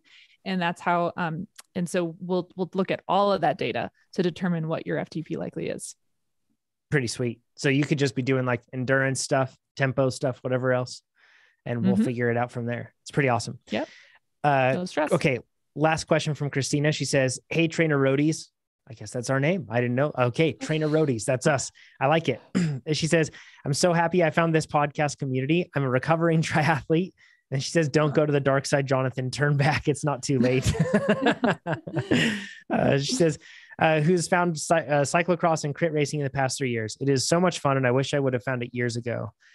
I'm writing to ask what feels like an ungrateful question. I just finished the base phase of TrainerRoad and I saw 14% power to weight ratio improvement. Way to go. Wow. She says, It's my first year training with TrainerRoad and any real structure at all, I guess. And while it has been really hard, I'm blown away at how much I've improved over 12 weeks. But this is where I start to feel ungrateful. I'm worried about this improvement. I feel like it's too much too soon and that now I won't get faster in the build phase. That seems problematic to me since the name and even the description of the build phase makes me feel like that, being the build phase, is where I should see most of my improvement. Have I, and she says in quotes, gone out too hard in a sense? I use adaptive training. So, other than the first workout or two, I never rated a sweet spot workout harder than quotes hard or moderate. So, I feel like I didn't bite off more than I can chew in the training. I guess I'm just worried I'll plateau and risk overtraining after such a strong base phase. Am I wrong? Can you call my overly analytical brain, please? it's a great question. Uh, this is actually pretty common, right? Uh, we see this with a lot of athletes. So, think about coming into the base phase. And Keegan, you even see this. Like you see a lot of improvement in the base phase every year from the beginning of base to the end, right? That's Mhm. normal for you. Yeah. So, because you're coming off of usually time off, so you've had to detrain, uh, you've had time to detrain and become less fit, and then or you are getting into training from the beginning and you have a lot of room to grow and a ton of potential, and you're going to see really fast gains. So it is really common to see improvement in the base phase the the goal of the base phase isn't to raise FTP, it's to make you aerobically fit. And that then as a result of that, your FTP does go up. That is very common, especially if you've experienced detraining or a lack of training before that. So that's that's pretty common there. Um, however, I kind of want to talk about like setting expectations for this because uh, there is a lot of fear. We get people saying like, "Well, now I'm am I going to get anything in the base phase?" Or even people that say, "I got all my improvement in the base phase, and now I didn't get anything in the build phase." Uh, so did the build phase not work? And I want to talk about that assumption right there. Is that if indeed you don't see as much improvement later on as you did in the base phase, did those phases not work? What would you say to that, Amber? Um, it's all money in the bank. is really what it comes down to. And one thing that they mentioned is um, they're new to structured training. And so that's already off the bat, you're going to see huge early gains just by getting into structured training coming from unstructured training. So that is not surprising at all. Um, and I wouldn't worry. Just go find out. I mean, this is this is the beauty of training. It's a giant, never-ending self-experiment. You get to learn about yourself um, year over year. It's going to change year to year. Everybody's different too. So some people are going to respond differently to different types of training. That's something else that you get to learn about yourself. And who knows, maybe you'll see even bigger gains in the build phase. I mean, you have so much to discover here. I don't see any reason to be afraid of that. Just go see what mm-hmm. you can see. You've already you've already had this huge improvement. I mean, there's nothing to lose here. like just go mm-hmm. see if you can make more gains. Yes. Ivy, do you see a lot of athletes, I'm sure, talk about this on the forum, whether it's musing about the possibility or actually experiencing it. What what would what advice would you have? Uh don't stress, ride this high. Um, yeah. Yeah. You know, make hay. watts per kilogram too, especially since this is their first, you know, structured training. It's a base phase, probably coming off of an off season. There's a good chance that they maybe have lost some weight during mm-hmm. this base phase and that could be you know where you see such a big improvement in watts per kilogram and that's going to slow down and it's okay um mm-hmm. yeah just ride this high it's all right the reason the, the plans are there for a reason uh to progress you and move you in a way that makes sense for your goals and that those jumps in improvement won't always make sense to us as athletes but it's part of the plan just trust the process yeah, the, the FTP is just one way to measure improvement. And then with TrainerRoad, we have progression levels. Then you can see your abilities improve in other more relevant ways to whatever your goals are. Right. Uh, but like Keegan, like there's there's more to it, right? Like in the build phase yeah. and the specialty phase, you're building other skills than just raising FTP. Well, in your FTP also, like just because let's say you test an FTP of 300 watts doesn't mean that you can actually go do 300 watts for an hour. And maybe during the build phase, you can actually, like your FTP might not increase, but you might have a more usable FTP. Like, oh, now I can actually do 300 watts for an hour or whatever it may be, which is a lot more useful than having an FTP of 320, but not actually being able to do that. So I think just because you don't see an FTP increase doesn't mean you're not going to get faster. Like maybe you can now, maybe you can now do like three 20 minute intervals at FTP instead of only being able to do one or two. So you're going to see improvements, but they might not be like direct improvements on your watts per kilo or your actual FTP, but you're faster and you can do that FTP longer. Or there's so there's like so much more that goes into it than just numbers. So, yeah, yeah, absolutely. And that's the sort of thing that shows up in progression levels too, right? Like when right, you can now do you. three by 20 instead of one by 20, you're going to mm-hmm. go up from like a level four threshold up to like a level seven by that time. You know, mm-hmm. you'll have worked your way up.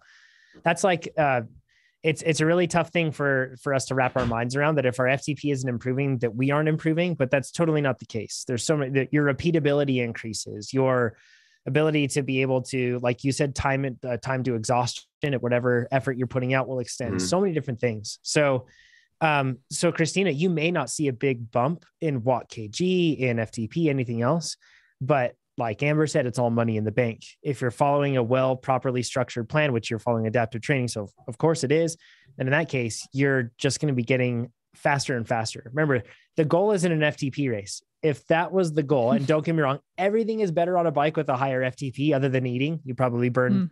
If you're like Filippo Ganna, I don't know how he does it. I, I don't know how he keeps up with his burn rate with like a 500 and whatever watt threshold he has.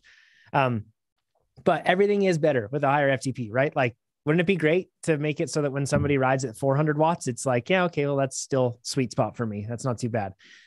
But that said, it's not everything. And if it was just an FTP contest, they'd show up at the line, they'd show their numbers, and then it'd be done. There's so much more to racing, and there's so much more to riding and doing taking on big like what a solo goal whatever you have if it's not a race or just accomplishing something there's way more to riding bikes than just having a high ftp and that's what training is about it's, it's preparing you to be a good bike rider not just be a big number. So uh, yeah follow the training. You're going to get faster. That's the whole goal christina. It's exciting stuff. Uh, y'all we we went long on this one 220 thank you so much for joining us everybody. Uh, i appreciate having you. Keegan thanks for coming on yeah, thanks for having me yeah, absolutely. Uh, where can people get in touch with you? Uh, Instagram is best place. Uh, just Kegels99. And I try and get back to most people. I'm sorry if I don't get back to you right away. Sometimes I'm, just, I'm bad with things, technology, but uh, I try my best. and uh, you can, if you're at 24 hours in the old Pueblo, you can go cheer him on there. He's going to need it. Yeah, come uh, say hi. There. I'll be spinning laps. So that's right. Absolutely. And um, with that, everybody, we'll talk to you next week. Share this podcast with your friends, like, rate, share the whole thing on the app on this podcast, and we will talk to you soon. Thanks, everybody. Bye, everybody.